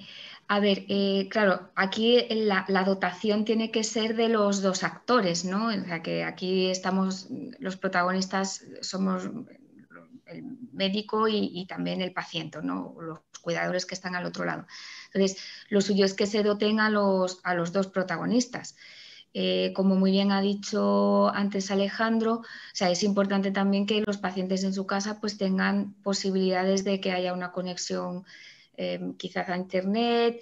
Claro, ellos tendrían que tener los dispositivos, en casa debería haber este tipo de dispositivos de los espirómetros, los pulsosímetros, eh, a lo mejor app que se pueden incluso, como yo he comentado, descargar Em, en los propios eh, dispositivos portátiles.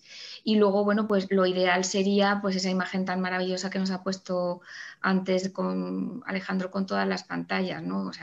pero que la dotación ahora mismo está siendo un poco mm, altruista, ¿no? O sea, el paciente que tiene un pulsiosímetro en casa, pues te dice la saturación y la frecuencia cardíaca que tiene, el que se pueden pesar porque suelen tener pesos, pero, pero realmente dotaciones mm, tal cuales no, no, no, existen. Claro, lo ideal sería que empezáramos a mandar estas cosas a casa de los pacientes desde ya.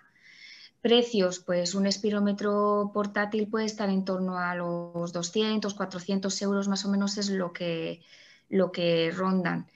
Em, hay algunos que exigen que el propio hospital pague como una cuota por la, por la plataforma, por el mantenimiento de la plataforma, pero en general no, no, yo creo que no es caro para lo, digamos, la información que nos pueden dar a largo plazo y el impacto que, una buena monitorización de, una, por ejemplo, de, las espirometrías puede, puede haber. Yo, en cuanto a dotación, no, seguro no hay. Eh, en algunos hospitales se está llamando a los pacientes desde los móviles personales de los médicos, o sea que no es que no haya dotación, es que en algunos no hay ni siquiera línea telefónica eh, con salida al exterior, eh, con lo cual no. Y luego de cara a los pacientes, menos todavía.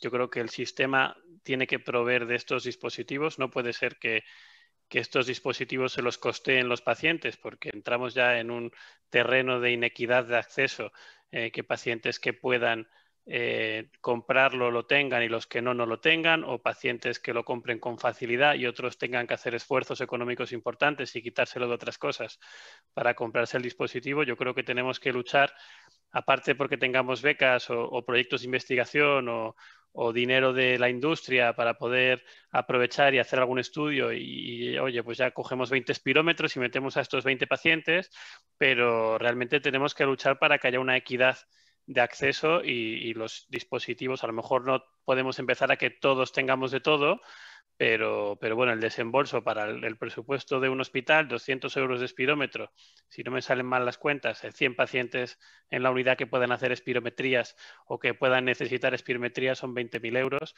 y eso eh, realmente en el presupuesto de un hospital es insignificante.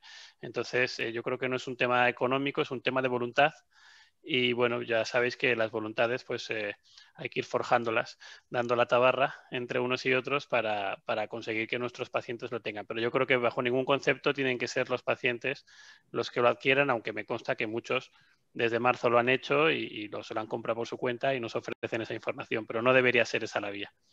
De hecho, eh, hay, eh, bueno, la intención desde la Fundación de realizar este proyecto precisamente es para eh, pues sacar eh, unos resultados que puedan demostrar a la administración pues de, la utilidad y la bueno pues la parte de beneficio eh, que pueda de beneficio que pueda tener el uso de estos dispositivos en el sistema y, en el seguimiento.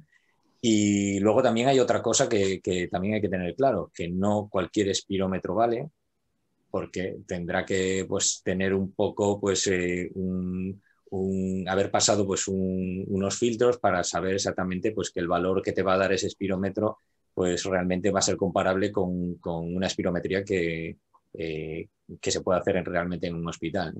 Entonces, bueno, ahí también afectará también un poco también el, precio. Efectivamente, los precios que, nosotros hemos eh, manejado rondan más o menos lo que decía la doctora Quintana, eh, pero desde luego estamos de acuerdo en que esto es algo que tiene que, asumir el Sistema Nacional de Salud, tiene que, bueno, pues poner los medios a ambos lados. De nada vale que el, paciente tenga todos los dispositivos y luego el médico tiene que llamar por su teléfono. O sea, esto tiene que ser algo que, tiene que estar eh, bien planteado y, y tener claro que, bueno, pues que el, que el beneficio de esa inversión y el retorno eh, está ahí. Muy bien. Em, hay alguna pregunta más, pero no tenemos mucho tiempo. Yo coincido con, vosotros que efectivamente este es un tema que, nos sobrepasa un poco, pero que evidentemente para evitar inequidades el Sistema Nacional de Salud tendría que tomar parte en ello.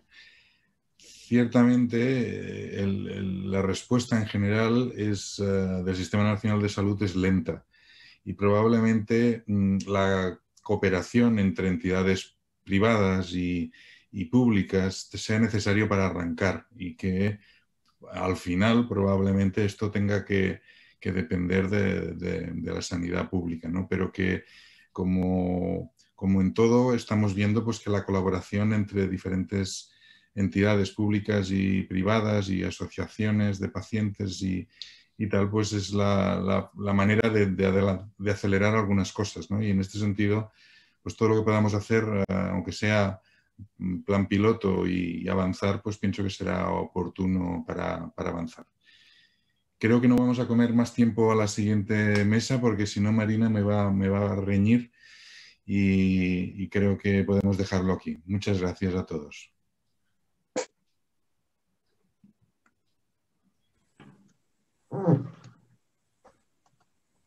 Bueno, pues en primer lugar em, agradecer eh, a la Fundación Española de Fibrosis Quística la invitación, en especial eh, a Juan eh, por, invitarme.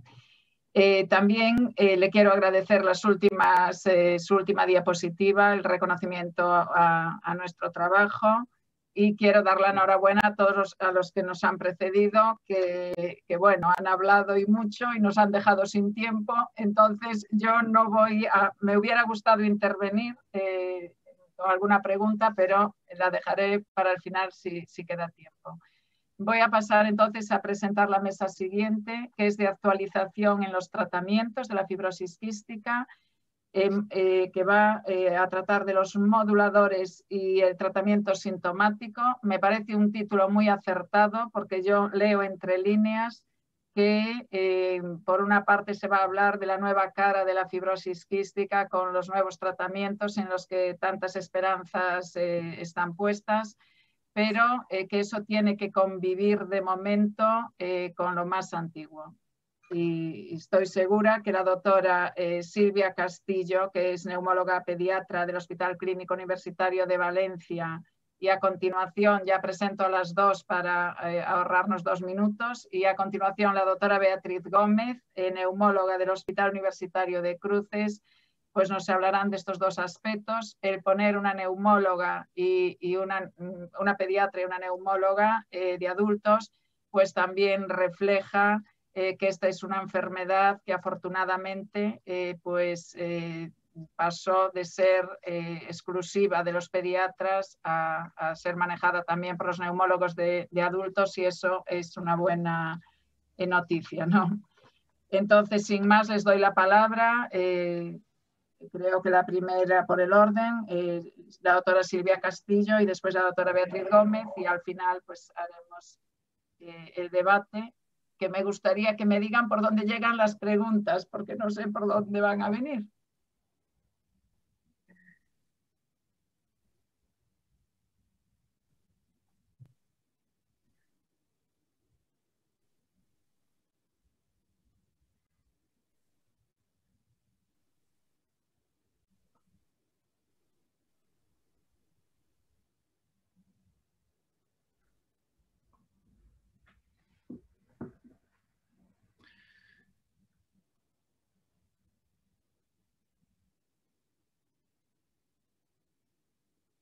Más abajo, más abajo aún, más abajo.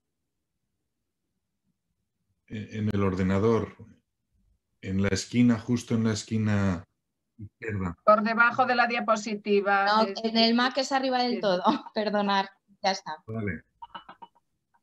Ya está. ¿Se ve la pantalla? ¿Está bien compartida? Sí. Vale. Bueno, muchísimas gracias por la invitación. Eh, os voy a introducir la actualización en el tratamiento. Tanto la doctora Beatriz como yo pues nos hemos repartido la ponencia por no duplicar información. Entonces, no vamos a robar más tiempo y vamos a, a empezar con ella. Como todos sabéis, la fibrosis quística es la enfermedad hereditaria congénita de carácter multisistémico en la que hay una alteración en el transporte de agua y sales de cloro a nivel de las células que recubren pues, diferentes sitios del organismo.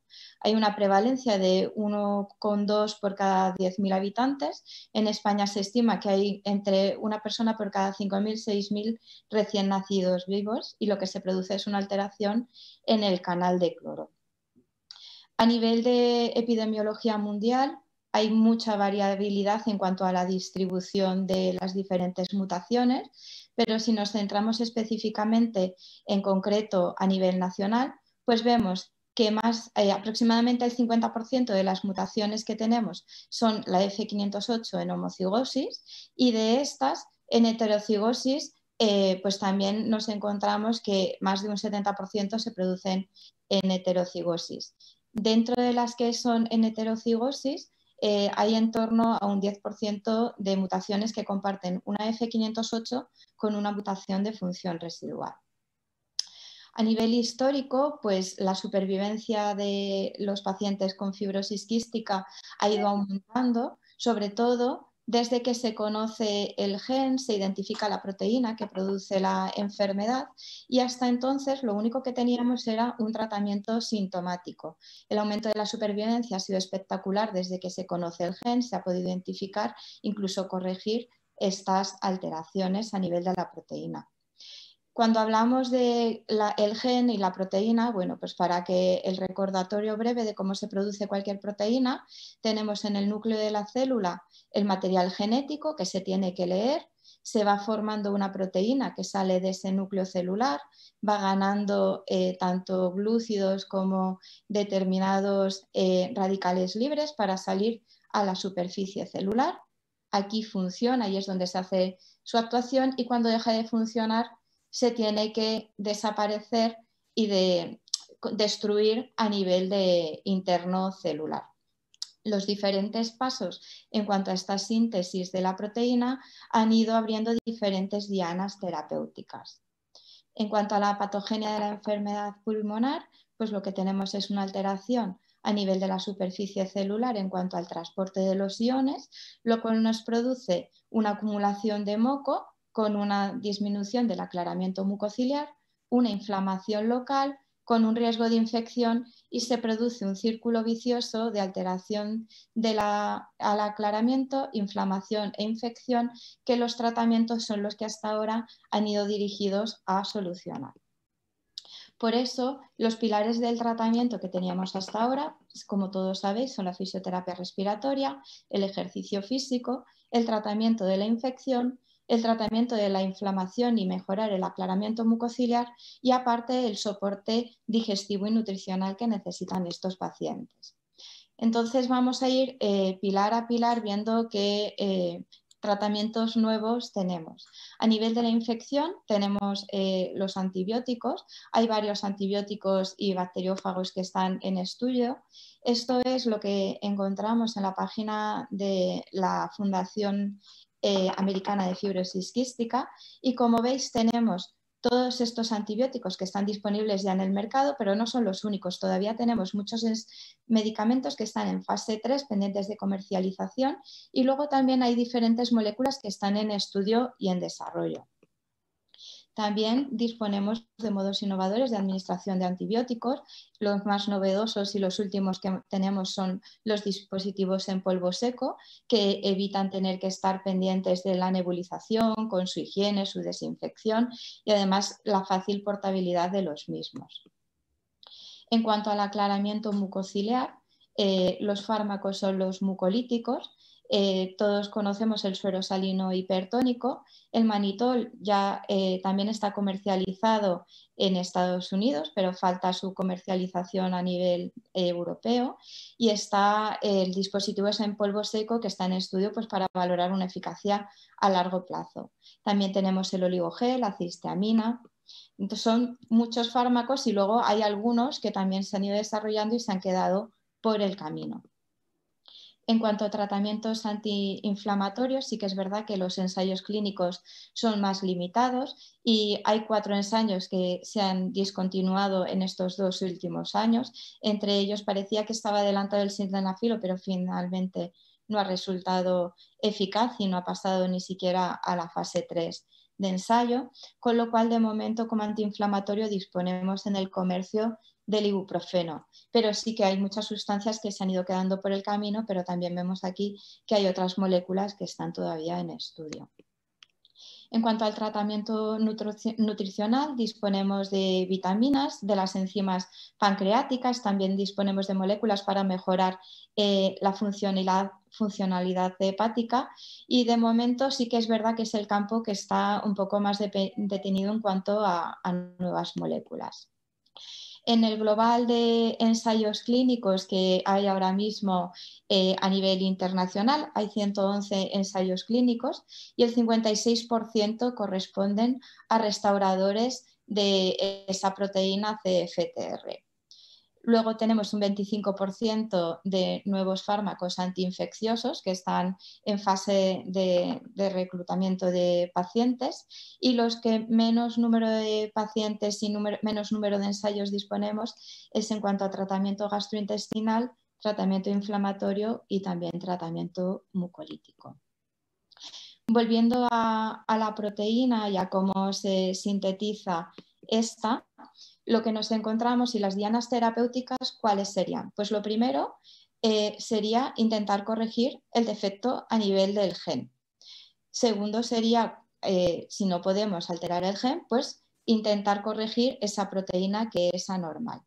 Cuando lo que hacemos es intentar restaurar esa mutación genética, ya sea a nivel del DNA o en cuanto a la transcripción, lo que tenemos que hacer es una terapia génica que lo que, lo que eh, consiste es en introducir eh, material genético normal dentro de las células humanas donde tenemos ese material genético alterado para que entren en el núcleo celular de las mismas y se produzca una síntesis normal de ese material genético. Aquí eh, es un es más gráfico, pues lo que se hace es introducir DNA modificado dentro de vectores, la mayoría de los vectores que se utilizan son vectores virales. Este vector debería entrar a nivel de la célula, viajar por la célula hacia el núcleo y aquí inyectar ese material genético dentro de la célula para favorecer su replicación. Por eso se utilizan eh, vectores virales como el adenovirus o el lentivirus. Lo que pasa, esto perdonar la animación,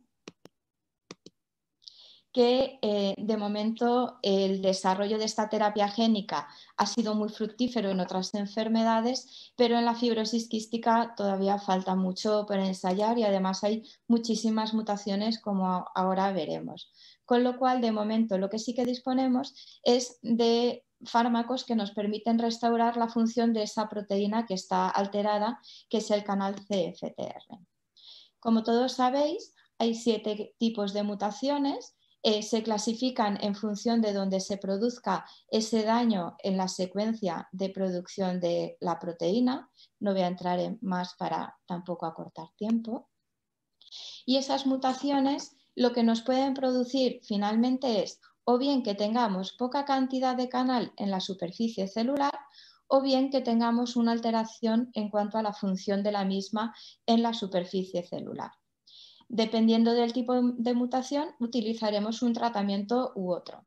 Cuando tenemos alterada la cantidad de proteína en superficie, lo que necesitamos son correctores del CFTR, que lo que hacen es incrementar la cantidad de proteína a nivel de la superficie celular. Y en el caso de lo que tengamos es una proteína que no funciona bien, lo que necesitamos son potenciadores que aumenten esa actividad del canal de cloro a nivel de la superficie. Estos fármacos eh, correctores y moduladores de, las proteínas eh, actualmente disponemos en el mercado de cuatro fármacos, Calideco, Orcambi, Sinkevo y Sinkevi, perdonar, y el Tricafta, pero sí que es verdad que eh, esto está sacado de la Cystic Fibrosis Foundation y es verdad que no incluye al 100% de los pacientes con fibrosis quística, porque todos van dirigidos hacia la mutación F508. De todos modos, no voy a entrar más en esta diapositiva porque luego profundizará Beatriz en ella.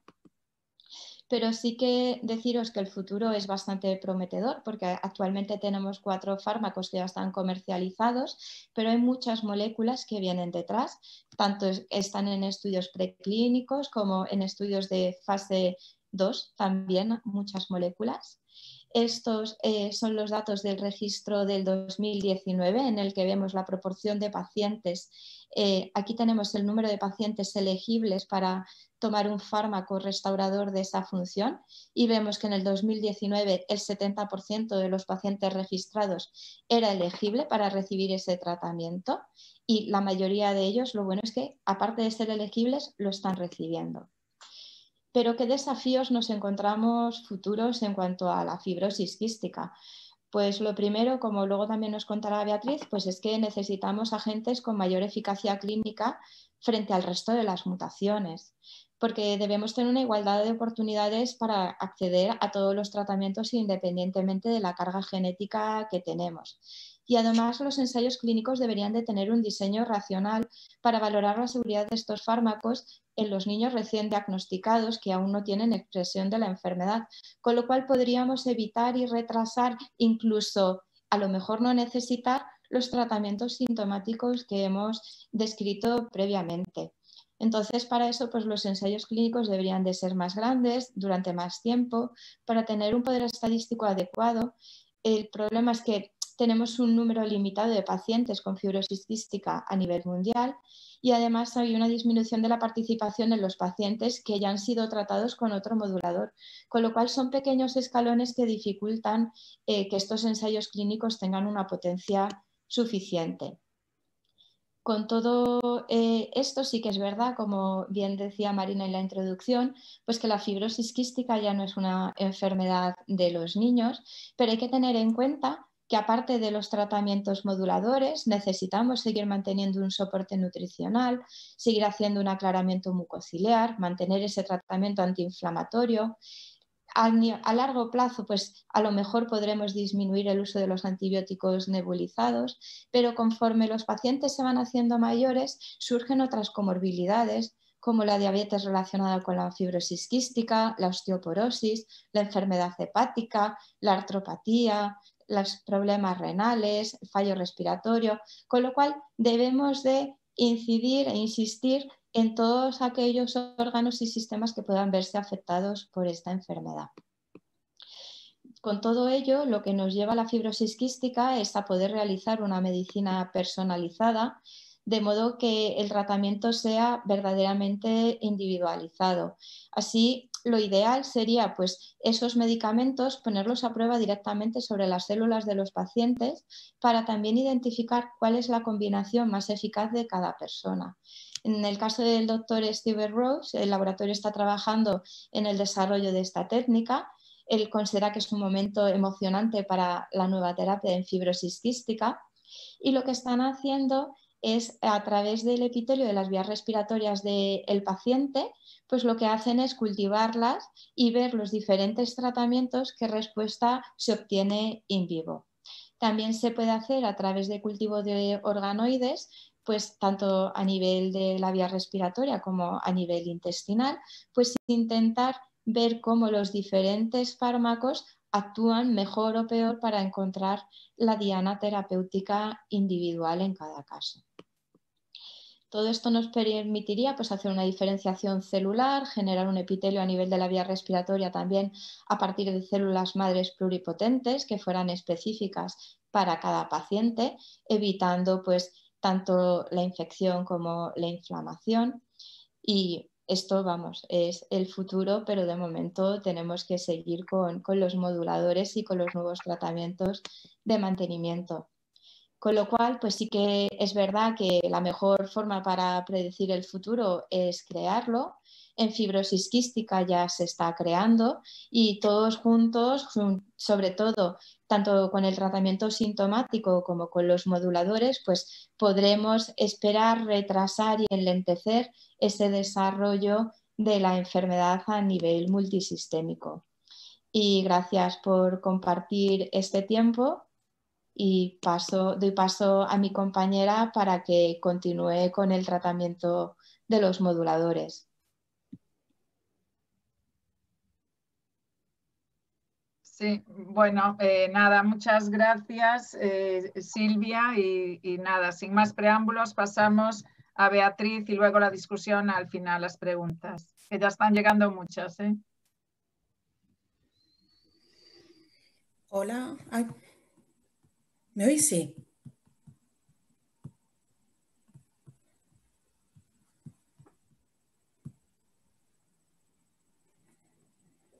¿Me oís? Sí, perfecto. Vale.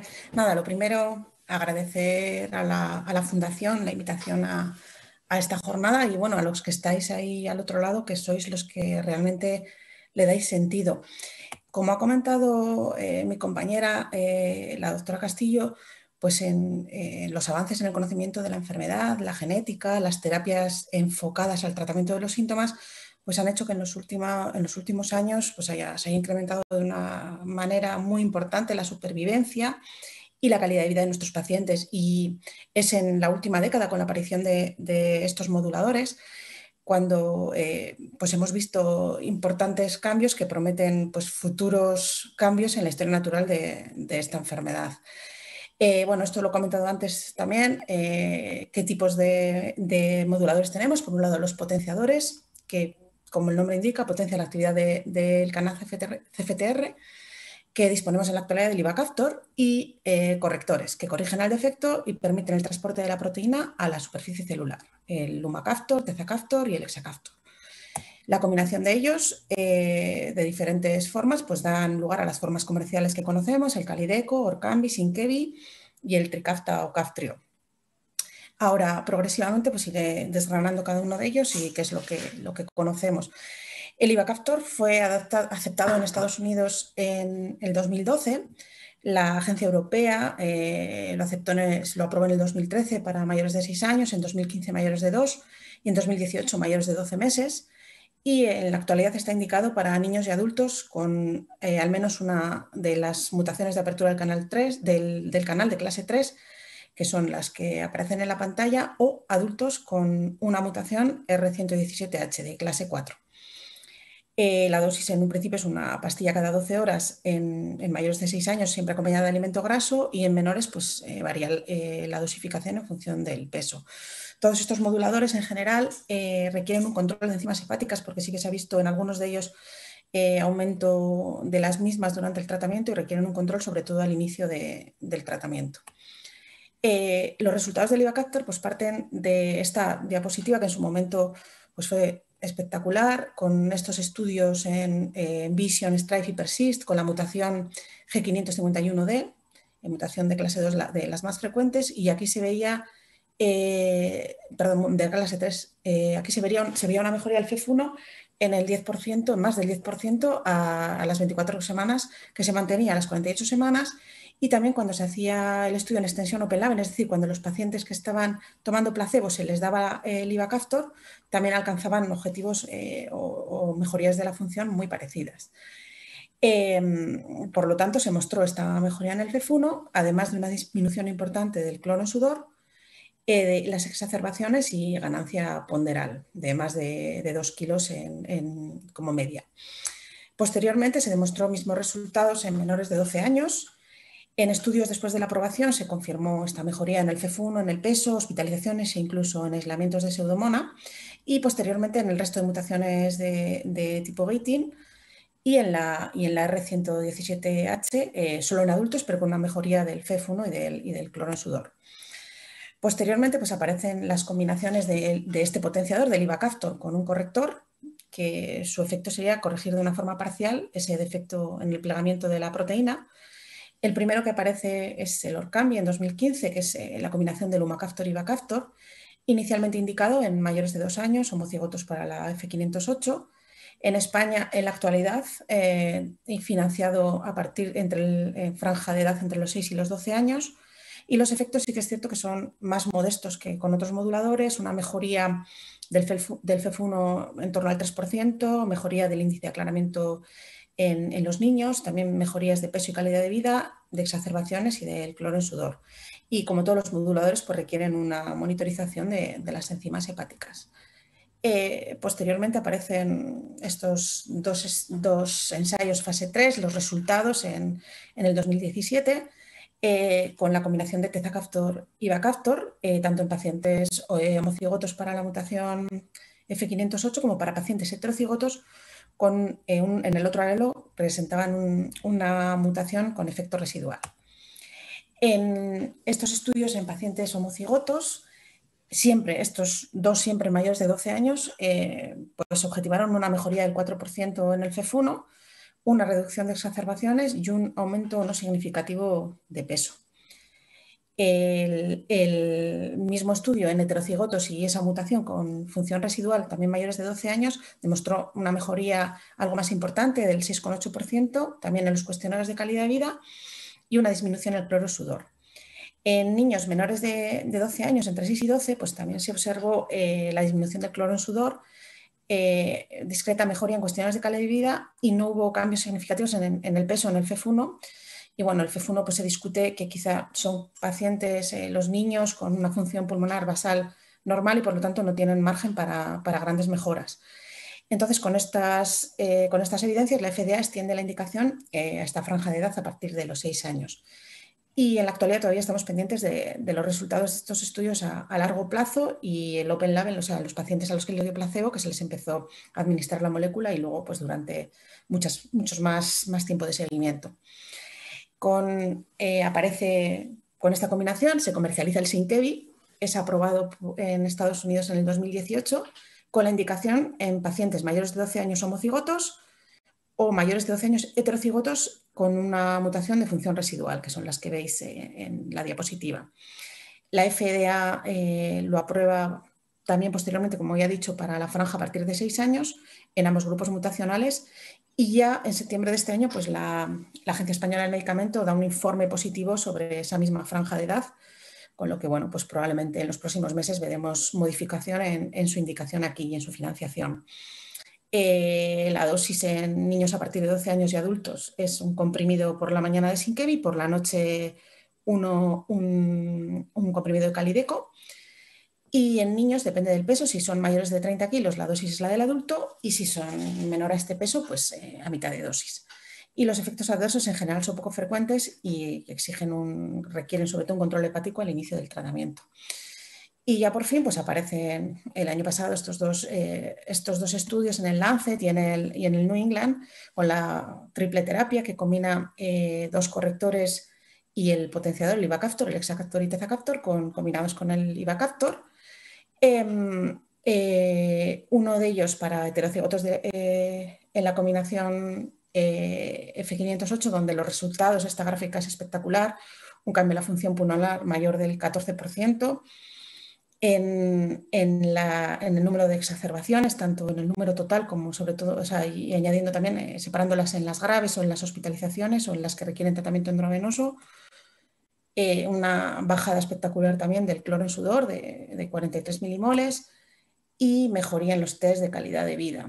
Para pacientes homocigotos, eh, una mejoría también importante, no tan espectacular, pero también muy importante, del 10%, y también eh, mejoría en test de calidad de vida y en, y en el cloro en sudor 45 eh, milimoles de, media. Con ello, pues aparece, se ha aprobado el Tricafta en Estados Unidos eh, el año pasado, en 2019. En Europa se aprueba por la, por la EMA en septiembre de 2020. Tiene ya un informe positivo por la Agencia Española del Medicamento. Está autorizado de entrada desde octubre, pero aún no comercializado, es decir, no lo tenemos financiado y en nuestro país pues, se reserva para un uso compasivo en pacientes con, función, eh, con función deteriorada. La dosis es un comprimido a la mañana y acompañado, como todos, de calideco por la noche.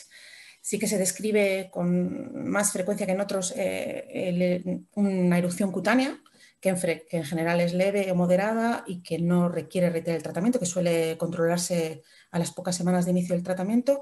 Y aunque no se ha visto que aumente las enzimas hepáticas más que en el placebo, o sea, más que en, el grupo control, pues sí que se aconseja eh, eh, medirlas sobre todo al inicio del tratamiento. Y en la actualidad, pues ya hay tratamientos eh, para menores, o sea, hay tratamientos, no, perdón, estudios en marcha para comprobar estos efectos en, en menores de 12 años. Bueno, pues con la aparición de estos nuevos medicamentos, pues hay que buscar eh, nuevos modelos de pago pues que permitan eh, que los precios, que son en sí carísimos, pues estén más adecuados al valor real.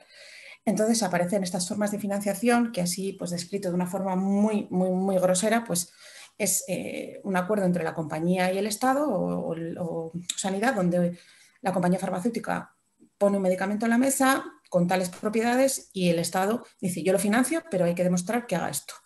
Y entonces, bueno, pues se asumen, eh, se asumen los riesgos eh, por los dos lados. Entonces, así se establece una plataforma para, que es el Valtremez, que aparece el 4 de noviembre del 2019, que es un sistema de información que determina el valor terapéutico de estos medicamentos, sobre todo estos medicamentos de alto impacto sanitario y económico. Y fundamental aquí es esto, que garantiza una oferta no asimétrica, es decir, no depende como en otros casos del hospital donde estés, la comunidad o cualquier otra cosa, eh, hace que eh, sea simétrica en todo el Estado, que la accesibilidad sea muchísimo más fácil y que exista una adecuada cobertura legal para, la prescripción, es decir, que no se pongan medicamentos fuera de ficha técnica, sino que estén perfectamente eh, cubiertos a la hora de, prescribirse. Eh, este es el protocolo que aparece para el uso del, del y del Orcambi, el que establece el Ministerio de Sanidad. Y bueno, pues lo que se hace es para cumplimentar ese pago o para que sea financiado, pues establece una serie de variables que se van a mirar eh, a los seis meses, luego al, em, luego al año, o sea, progresivamente durante el control del tratamiento. Se establecen dos variables, por un lado la función pulmonar y las exacerbaciones, y se pide pues, que la función pulmonar no decaiga más de un 5% y que las exacerbaciones eh, disminuyan o si no las había, disminuyan en un número y si no las había, eh, que siga sin haberlas. ¿de acuerdo? Entonces hay pacientes que serían eh, respondedores y continuarían el tratamiento sin problemas, pacientes no respondedores en los que en un principio habría que plantearse el, tratamiento y pacientes que igual no cumplen en función pulmonar, pero sí cumplen en exacerbaciones y por lo tanto pues, se les daría otro plazo a cada uno de ellos, otros seis meses para ver si se cumplen los dos parámetros. Eh, bueno, pues, eh, ¿qué experiencia tenemos en nuestra unidad a, día de hoy? Pues eh, justo empezamos a incluir pacientes. Empezó la plataforma a funcionar en noviembre, pero es cierto que luego, pues en la labor administrativa entre comunidades, con hospitales, pues llevó sus meses y justo empezamos a incluir pacientes en, pleno inicio de pandemia, en marzo del, 20. En un principio teníamos en nuestra unidad de adultos 23 pacientes potencialmente tratables, 22 homocigotos y un, y un paciente heterocigoto y con una mutación de función residual. En la actualidad tenemos incluidos a 22, ya han empezado el tratamiento y uno de ellos lo ha rechazado. Y tenemos ya 11 pacientes que han cumplimentado esos primeros seis meses. Eh, de estos 11 pacientes con una edad media de 33 años, predominio de hombres, 7 hombres y 4 mujeres. Y bueno, aquí, esto es eh, muy grosero, pero de uno a uno he ido poniendo diferentes variables. Eh, de los 11 pacientes. Eh, en azul veis eh, al inicio y en granate a las 24 semanas. El peso, de forma global, pues se ve un aumento de un kilo como media en, toda la, en, nuestros, nuestros 11 pacientes. También es cierto que son pacientes con poquitas exacerbaciones, pero aquellos que las tenían pues han disminuido sus, las mismas e incluso algunos no han tenido ninguna.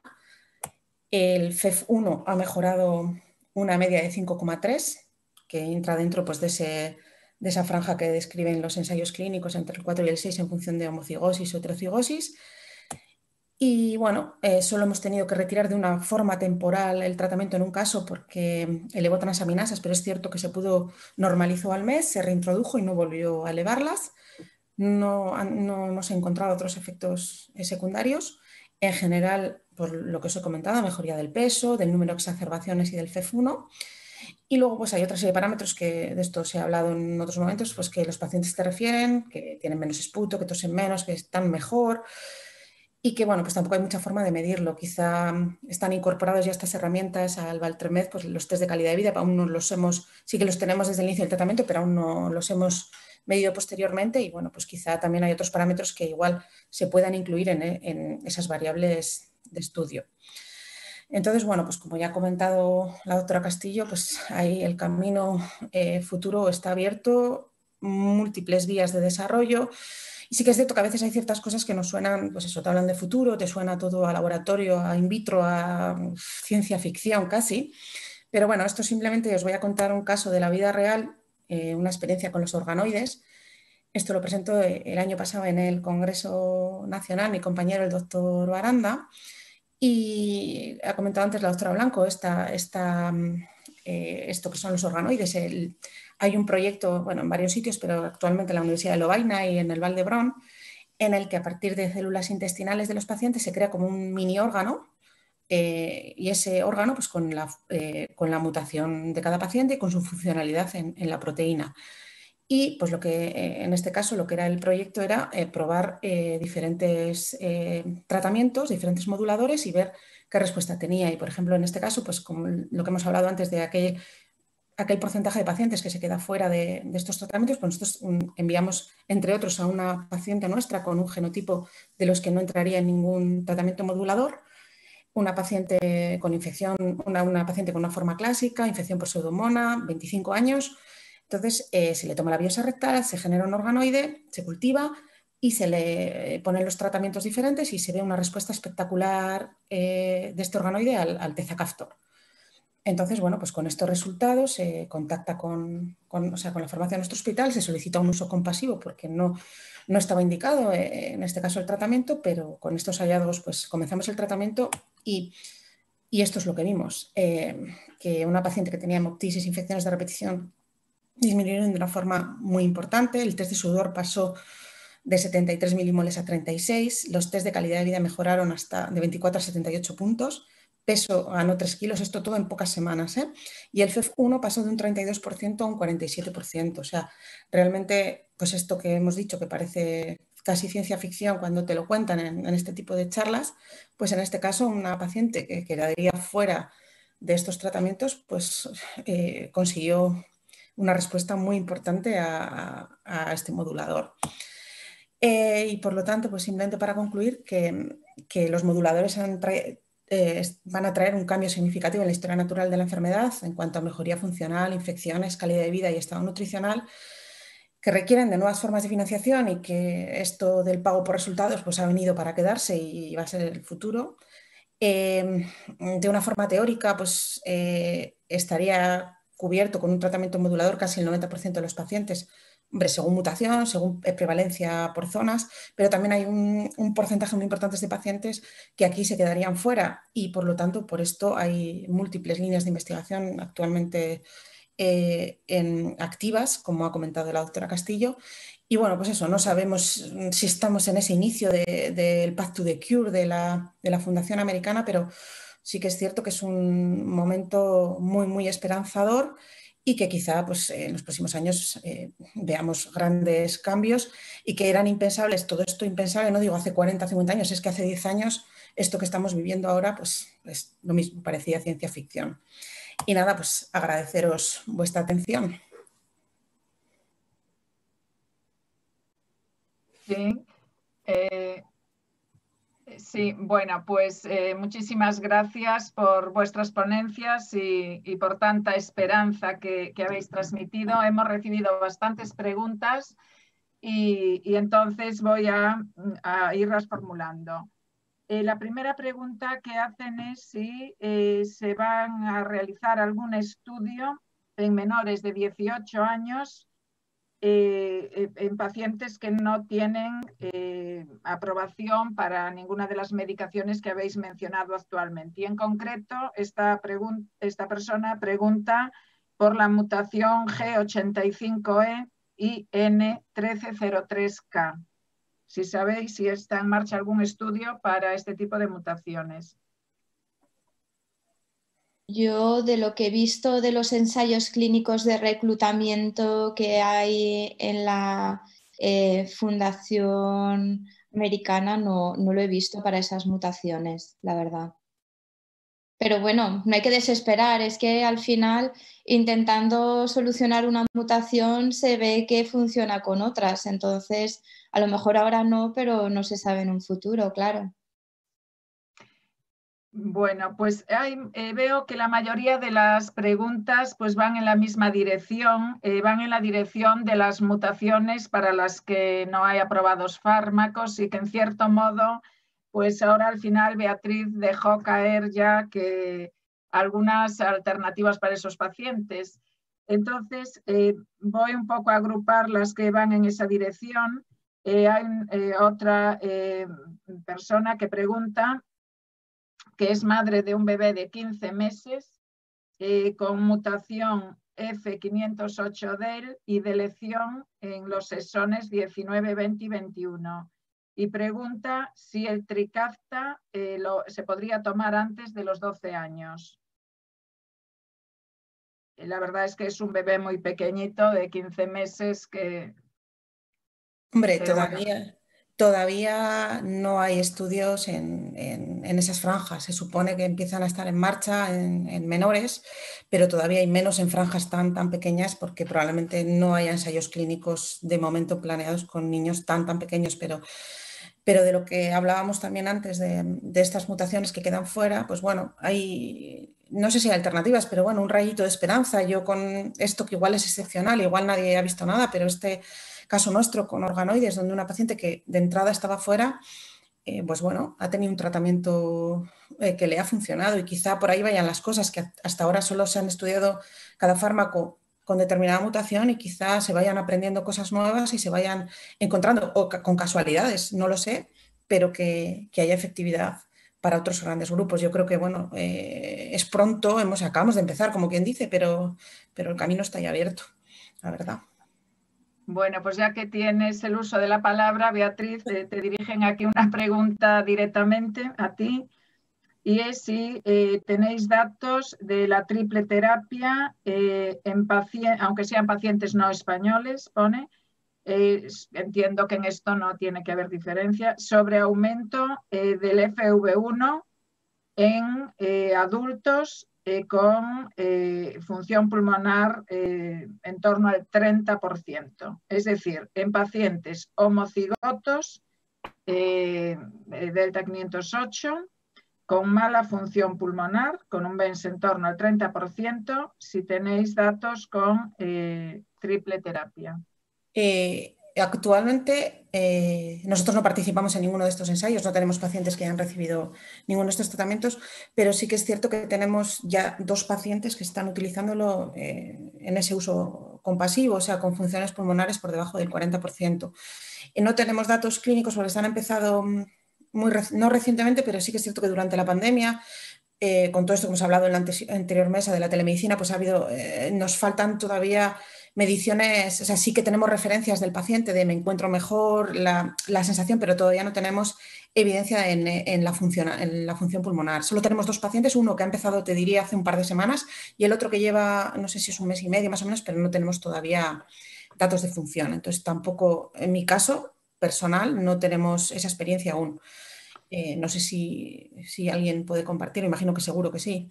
Bueno, yo si me permitís, pues eh, voy a comentar de una paciente nuestra eh, que estaba con una función pulmonar muy mala eh, y que mejoró, pero muchísimo. El problema es que hizo un neumotoras, o sea, ella es que nos decía que había cambiado su vida, pero hizo un neumotoras que fue imposible que se respondiera el pulmón y hubo que trasplantarla por, por el neumotoras pero eh, por lo demás sí que había mejorado eh, muchísimo, con muy mala función pulmonar. Bueno, siguen llegando. a ver, voy para arriba otra vez para que no se me quede ninguna. Eh, bueno, son muchas preguntas de tipo de qué otras opciones tienen los pacientes con defecto de síntesis. hay aquí una que es un adulto eh, de 46 años eh, que dice que estuvo bien, que practicó mucho deporte y que eso le ayudó, pero eh, qué cuidados debe de tener ahora considerando que en su país no existe mucha experiencia y básicamente no existen medicamentos, que los medicamentos son inexistentes. O sea, entiendo que no tiene acceso a, los nuevos moduladores ¿Y Hombre, pues otras recomendaciones se le daría a un adulto que parece que se está deteriorando por lo que se desprende de su pregunta? De entrada, hombre, la recomendación es, claro, es el tratamiento que hemos tenido hasta ahora, lo que hemos comentado, que en ningún caso eh, debe abandonarse, porque todos estos ensayos se han hecho con pacientes que tomaban sus tratamientos de base. Quiero decir que no es pacientes que no tomaran nada. Entonces, eh, es fundamental el tratamiento de base. Claro, el no haber acceso pues limita, limita, pues eso es ver determinadas mejorías, pero claro, evidentemente a día de hoy, si no dispones de acceso al modulador, sería continuar con lo que ya conocemos, los antiinflamatorios, los antibióticos inhalados, la fisioterapia, la nutrición, o sea, con los pilares básicos con los que nos hemos manejado hasta, hasta hace nada pues bueno, a ver si esto, los costes se van reduciendo, los sistemas sanitarios pueden financiarse de diferentes formas y conseguimos libre acceso. Hombre, lo ideal y lo que queremos es un acceso universal, o sea, esto como en todo, pero, pero sabemos lo que es la realidad. Bueno, y esta va dirigida eh, a la doctora Silvia Castillo, eh, que pregunta, eh, bueno, le felicitan por la charla y qué perspectiva de futuro a nivel de medicamentos tienen los pacientes con mutaciones de tipo 1 o mutaciones sin sentido. A ver, el futuro es, como estaba diciendo ahora Beatriz, eh, nos, hemos visto un cambio radical en la perspectiva del tratamiento de la fibrosis quística en los diez últimos años, pero la supervivencia de los pacientes ya estaba aumentando previamente con los pilares básicos. Entonces, yo a estos pacientes lo que les diría es que no desesperen, que hay que tomarse muy en serio los pilares básicos, sobre todo la fisioterapia respiratoria, el ejercicio, hacer las visitas seriadas y no desistir, porque se está estudiando y se está investigando mucho. Sí que es verdad que las mutaciones sin sentido, las mutaciones de clase 7, en principio el tratamiento y la orientación hacia ellos sería una terapia génica, tipo un CRIPS o una inducción de DNA con vectores, pero que el que no haya nada ahora no significa que en 10 años no tengamos 20 moléculas disponibles. Es que no lo sabemos porque, pues eso, se ha producido un cambio exponencial desde que apareció Ivacaptor hasta hoy. Y el futuro en ese sentido es esperanzador por todas las moléculas que hay ahora mismo en estudio, todavía incluso en, en fase preclínica. O sea, yo insistir en que no desesperen y que el tratamiento básico hay que estar al 100% para cuando llegue ese tratamiento que pueda eh, tratar su mutación en concreto. Bueno, seguimos. ¿eh? Eh, mm, la otra pregunta que hacen es si se pueden utilizar los fármacos moduladores en pacientes asintomáticos. Es decir, ¿cuándo deben empezarse? Si eh, está indicado empezarlos en pacientes sin síntomas. Esto, a ver, me imagino que se referirán sobre todo a, niños, entiendo. esta es la gran discusión, empezar cuanto antes, en los, primeros momentos todavía, claro, hay fármacos que, que, todavía estamos en franjas de edades ya por encima de los seis años. Por debajo de ellos, salvo el calideco, pues el resto no hay indicación y no hay experiencia. Hombre, la, la teoría te diría que cuanto antes, mejor para evitar esa pérdida. Pero sí que es cierto que, claro, a día de hoy tampoco tienes la evidencia y la base científica en la que apoyarte para hacerlo. Eh, esta es mi, vamos, es, es mi opinión, no sé qué opinará mi compañera pediatra en niños más pequeños. Nosotros la experiencia que tenemos en pacientes que le hemos puesto el tratamiento, eh, aquellos que estaban asintomáticos, lo que sí que se ha visto es que mejora el CEP1 y no tienen recaídas, pero sí que es verdad que ellos lo notan menos. También es verdad que en teorías, cuanto antes empieces, pues quizá menos deterioro futuro tienes, pero tampoco tenemos tanta experiencia porque es que los fármacos están comercializados y están desarrollados hace menos de 10 años. O sea, necesitamos saber qué pasa con esos pacientes que han empezado con seis meses, por ejemplo, Calideco, ver cómo están a los 10 años, ver cómo están a los 20 y realmente ese beneficio y ese uso en vida real, que es lo que nos falta. Sí que es verdad que nosotros pediatría es una ventana de oportunidad que en cuanto podemos el tratamiento se empieza. Otra cosa es que nos empiecen a poner una limitación de indicación eh, por el tema del techo de gasto y a nivel de farmacoeconomía, pues valorar la rentabilidad, claro, pero eso es otro tema. Muy bien. Eh, otra pregunta es eh, si el Tricafta elimina la necesidad de nebulizar a los pacientes.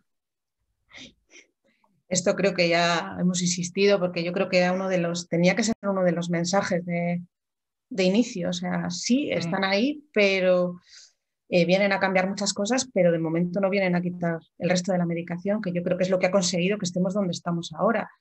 Eh, es que, y aparte lo que he dicho yo, que los ensayos están hechos con pacientes que toman sus medicaciones. Entonces, no se han hecho en pacientes que no tengan nada. Eh, creo que, vamos, de momento, a día de hoy, no. El mensaje es claramente no. Totalmente de acuerdo. de momento, precaución. Eh, mm, eh, preguntan que Calideco eh, por la FDA está aprobado para 38 mutaciones y por la EMA, sin embargo, para 9. si saben si se prevé aumentar este número de indicaciones por la EMA, si puede llegar eso. pues probablemente, quiero decir, como en todas estas, siempre se ha ido modificando progresivamente en función de las evidencias, entonces probablemente así sea. Quiero decir que que irá, irán avanzando como se ha ido avanzando en franjas de edad y en diferentes mutaciones. Entiendo que progresivamente ocurrirá, pero todavía no tenemos información real sobre esto. Bueno, y luego, pues felicitar a la persona que hace esta pregunta porque pone que tiene 64 años, con lo cual es un gran, o sea, es motivo de felicitarle, y que tiene un FV1 inferior a 40%. Y la pregunta es si hay una edad límite para la indicación de, estos fármacos. Eh, que yo sepa, no. Ahí no nos han puesto ninguna, ninguna pega, pues adelante, ¿no? Sí. Bueno, ya creo que para finalizar, porque creo que ya nos estamos también pasando del, tiempo que nos habían asignado, eh, pregunta eh, cómo van las negociaciones con Caftrio, cuándo se cree que se podrá comercializar en España y eh, eh, hay otra cuestión en el mismo sentido, de si es cuestión de... Yo no, yo no tengo conexiones con altas esferas, desconozco exactamente estas preguntas. Eh, probablemente igual hay gente que tiene algo más de información o que tiene más comunicación aquí mismo, pero es cierto que ya hay informes positivos y los informes positivos siempre son una buena señal. Cuando la EM se pronuncia con un informe positivo, es una buena señal e indica que pronto, pronto, próximos meses debería haber cambios, pero no tengo más información que la que podemos ver publicada. Desconozco exactamente los plazos, como nos hemos pasado años desconociendo los plazos de muchas de estas cosas que nos preguntáis y mm, no sabemos, pronto no sabemos, quiero decir, estamos ahí, pero entiendo que ahora que hay informes positivos y que se ha puesto en marcha la herramienta y el tipo de financiación, yo creo que puede ser más rápido y más fácil, pero plazos exactos los desconozco. No sé si alguien tiene más información. Sí, no sé si quiere intervenir alguien. Se me habían quedado solo dos preguntas y ya con esto sí que finalizamos. Y una es eh, si preguntan si los pacientes pueden eh, solicitar ellos el estudio de organoides intestinales o si deben ser eh, los médicos. Y ya eh, pongo también ya la otra y así con esto. Y la otra, que fue de las primeras preguntas, es qué novedades hay para la burcolderia cepacia. En cuanto a los organoides, nosotros lo que hicimos eh, directamente fue esto a través del doctor Vázquez. Eh, se contactó con la Universidad de Lovaina, ya con nuestra, desde allí con nuestra unidad, y, y, se seleccionó a los pacientes que eran candidatos a hacerlo, todos aquellos con estas mutaciones eh, mm, diferentes o estas, estas mutaciones que no entraban dentro y se remitieron, lo remitimos nosotros. No sé, eh, sé que a través del Valdebrón también se ha puesto en marcha el mismo proyecto y entiendo que tiene que ser la gestión a través de las unidades específicamente, pero es, hasta ahora nosotros hecho así. es cierto que está parado ahora mismo, ¿eh? con la, creo que se va a poner en marcha en breve, pero está parado por la pandemia. Tenemos gente que ha tenido, se ha hecho la prueba, se ha hecho el organoide, pero todavía no tenemos resultados porque ha quedado todo parado en los últimos seis meses. Entonces, bueno, directamente el paciente creo que no puede solicitarlo a través de su unidad. Y, y Burcordelia, creo que poca novedad, ¿no? Hasta donde Los ensayos clínicos que están en fase de reclutamiento son antibióticos frente a pseudomonas y micobacterias fundamentalmente, pero para burcodelia actualmente en desarrollo no hay ninguno. Bueno, ahora sí que es la última, pero la última es si se puede poner la vacuna para la COVID, eh, eh, tomando el Tricafta. Y de verdad que con esto cerramos. ¿eh? no me esperaba tanto éxito. entiendo que sí, quiero decir, no se contraindica con nada. Evidentemente no, no, hay experiencia, no hay experiencia de la vacuna, no hay experiencia del Tricafta, o sea, menos de las dos cosas juntas pero evidentemente a todo paciente respiratorio de riesgo se le debe poner la vacuna. Yo creo que no, independientemente de la medicación, salvo que tenga alguna de las otras contraindicaciones, esto no va a parecer como una estrellita de contraindicación, seguro. Bueno, pues solo me queda de verdad, muy sinceramente, volver a agradeceros eh, a todos eh, las charlas y, la participación y también a las personas que han hecho las preguntas que creo que han enriquecido mucho eh, la jornada. Por mi parte, nada más. Muchísimas gracias.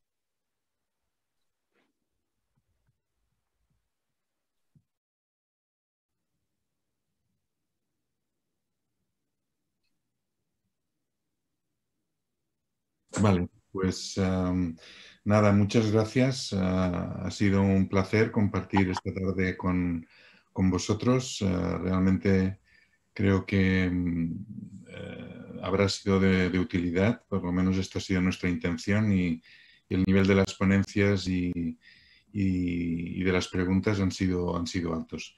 El tema, mm, por, alusiones, deciros solo que el tema del castrío está encima de la mesa de, del Ministerio de Sanidad, de la Dirección de Farmacia, que tiene ya un, informe de posicionamiento y, la entrega de la documentación por parte del, laboratorio y que es de esperar una respuesta a esto en los próximos meses y que a partir de aquí la negociación de financiación eh, entrará en juego y, esperemos que, tengamos buenas noticias cara, cara al año que viene. Y nada más, muchas gracias. Dejo la palabra a Juan para que cierre la sesión, agradeciendo el, esfuerzo organizativo tanto a él como, como también a Samara y, y, Amparo Soler que contribuyeron a, su organización y, al éxito del mismo. Muchas gracias.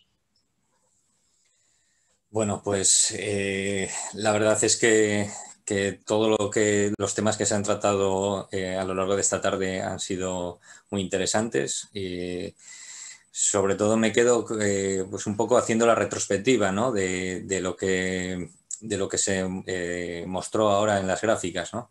mi hija tiene 10 años y bueno, pues el primer congreso al que asistí cuando e-, ella era una recién nacida y aún estaba hospitalizada, pues eh, la verdad es que fuera un poco frustrante porque nos habíamos encontrado con que eh, bueno, pues los tratamientos eran tratamientos paliativos y, bueno, pues no se hablaba de nada más que bueno, pues una charla de, un médico de Estados Unidos que nos venía a contar un poco eh, pues lo que iba a ser el calideco, ¿no? Y que lo veíamos como, bueno, pues ciencia ficción.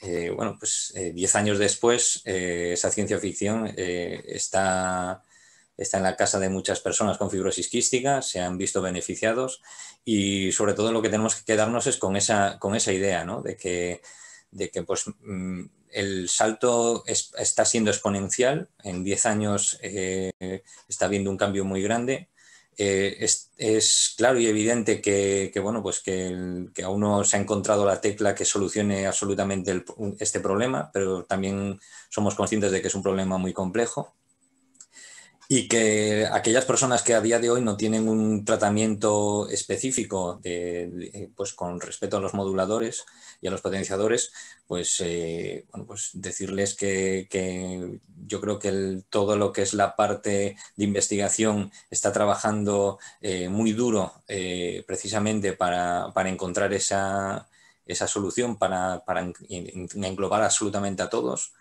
Y que mientras pues tampoco nos podemos olvidar de que sigue habiendo tratamientos de antibióticos, otro tipo de, métodos en donde bueno, la calidad de vida también puede ir mejorando y que no nos podemos tampoco eh, olvidar de, otras vías también como puede ser la terapia génica, que, también está ahí y que, y que está también teniendo sus avances.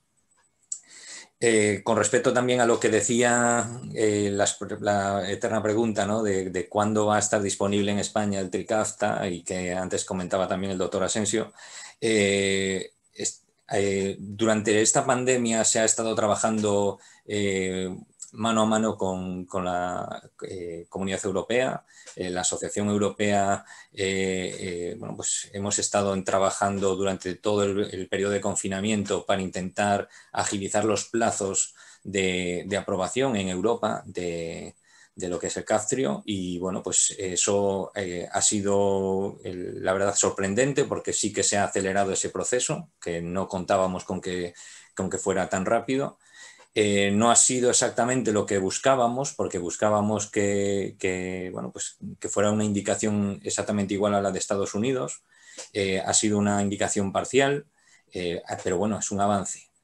Ese avance ahora mismo en España está en la mesa de, la Dirección General de, Farmacia, está en pleno proceso de, de negociaciones con el laboratorio y bueno, pues entendemos que, los plazos en los que estamos barajando, pues contamos con que el año que viene tendrá que haber alguna, eh, alguna noticia, sea positiva o sea negativa. Esperamos que sea positiva, por supuesto. Y también decir que lo que es la pandemia ha provocado un bloqueo de, todo el, proceso de, financiación y de negociación eh, durante todos estos meses eh, prácticamente ha sido COVID, COVID, COVID, como todos sabemos, porque es lo que vemos a todas horas y lo que oímos a todas horas. Eh, eso es, bueno, pues a partir del, después de en septiembre se ha vuelto a, reactivar, está volviendo otra vez a, haber inicios de negociaciones. Y también este, está habiendo también un cambio eh, de cara a dar una mayor información y una mayor transparencia, que como comentaba antes eh, la doctora Gómez, efectivamente hay mucha información de cómo está la situación de muchos medicamentos que eh, muchas veces desconocemos o tenemos que, entrar en unos foros muy específicos para poder tener esa información. Bueno, pues desde el Ministerio de Sanidad eso sí que están eh, dando pasos para eh, mejorar y dar una mayor transparencia a cómo están los procedimientos de los informes de posicionamiento terapéutico. han creado también una plataforma eh, en la que bueno, pues, eh, se va a buscar intentar dar una agilidad a, la información y eh, bueno, pues tiene sus, peculiaridades, están aún en proceso de, fase de, implementación y de formación. es algo totalmente diferente porque bueno, pasará de ser algo que, que directamente se trata en la Agencia Española del Medicamento y ahora pues pasará a ser algo que va a ser eh, de tratamiento eh, intracomunitario, es decir, todas las comunidades autónomas van a poder participar en, este tipo de decisiones. Y bueno, pues eh, desde la Fundación y desde la Federación lo hemos, nos lo han presentado, hemos visto que, es algo que, bueno, pues que si viene para mejorar lo que ya tenemos y sobre todo que pueda cortar tiempos en, todo el proceso burocrático para eh, conseguir un, acceso eh, lo más rápido posible, pues bienvenido sea, ¿no? Estaremos atentos a todo esto. Y bueno, pues para finalizar, eh, daros las gracias a todos vosotros, a la doctora Quintana, a la doctora González, al doctor Asensio, al doctor López Neira y a la doctora Castillo, y como no, también a la doctora Blanco, Marina, eh, pues por, haber eh, participado, ¿vale? haber sacado el tiempo de donde ahora mismo sé que no lo tenéis, que estáis eh, intentando desatascar todo el, atasco que os ha provocado el COVID durante todos estos meses y que habéis sacado tiempo para preparar estas, estas charlas y el tiempo para estar hoy aquí con nosotros. Muchísimas gracias. Eh, no me quiero olvidar tampoco de Samara y de, y de la doctora Amparo Solé, porque también nos han ayudado a, bueno, pues a realizar esta jornada en el día de hoy. Y también eh, no olvidarme tampoco a mi equipo técnico, a Estefanía, a, Marta, a Laura, que bueno, pues están ahí en la sombra haciendo pues la labor eh, técnica y preparando todo lo que es el material para poder hacer eh, que esto sea hoy posible. Y bueno, pues tampoco olvidarme del servicio técnico que nos hace que tecnológicamente podamos estar hoy todos reunidos y compartir toda esta, esta información con, con, todos vosotros y, como no, a todos los que nos estáis siguiendo, que la verdad es que cada vez que vemos las, los listados de seguimiento, pues eh, quedamos muy sorprendidos y muy agradecidos de que bueno, pues estas jornadas tengan muchísimo interés y que bueno, pues lleguemos a cerca de más de 320 personas que, que, que hayan estado conectados eh, a lo largo del día de hoy. ¿no? Entonces, bueno, pues sin más, esperemos que la próxima jornada podamos hacerla de forma presencial, que podamos tocarnos, que, podamos eh, volver otra vez por lo menos un poco a la normalidad y, agradeceros pues a todos el, esfuerzo que estáis haciendo otra vez más por, todos y bueno, pues eh, que paséis muy buena tarde y damos por clausurado la, la tercera jornada de la Fundación Española de Fibrosis Quística.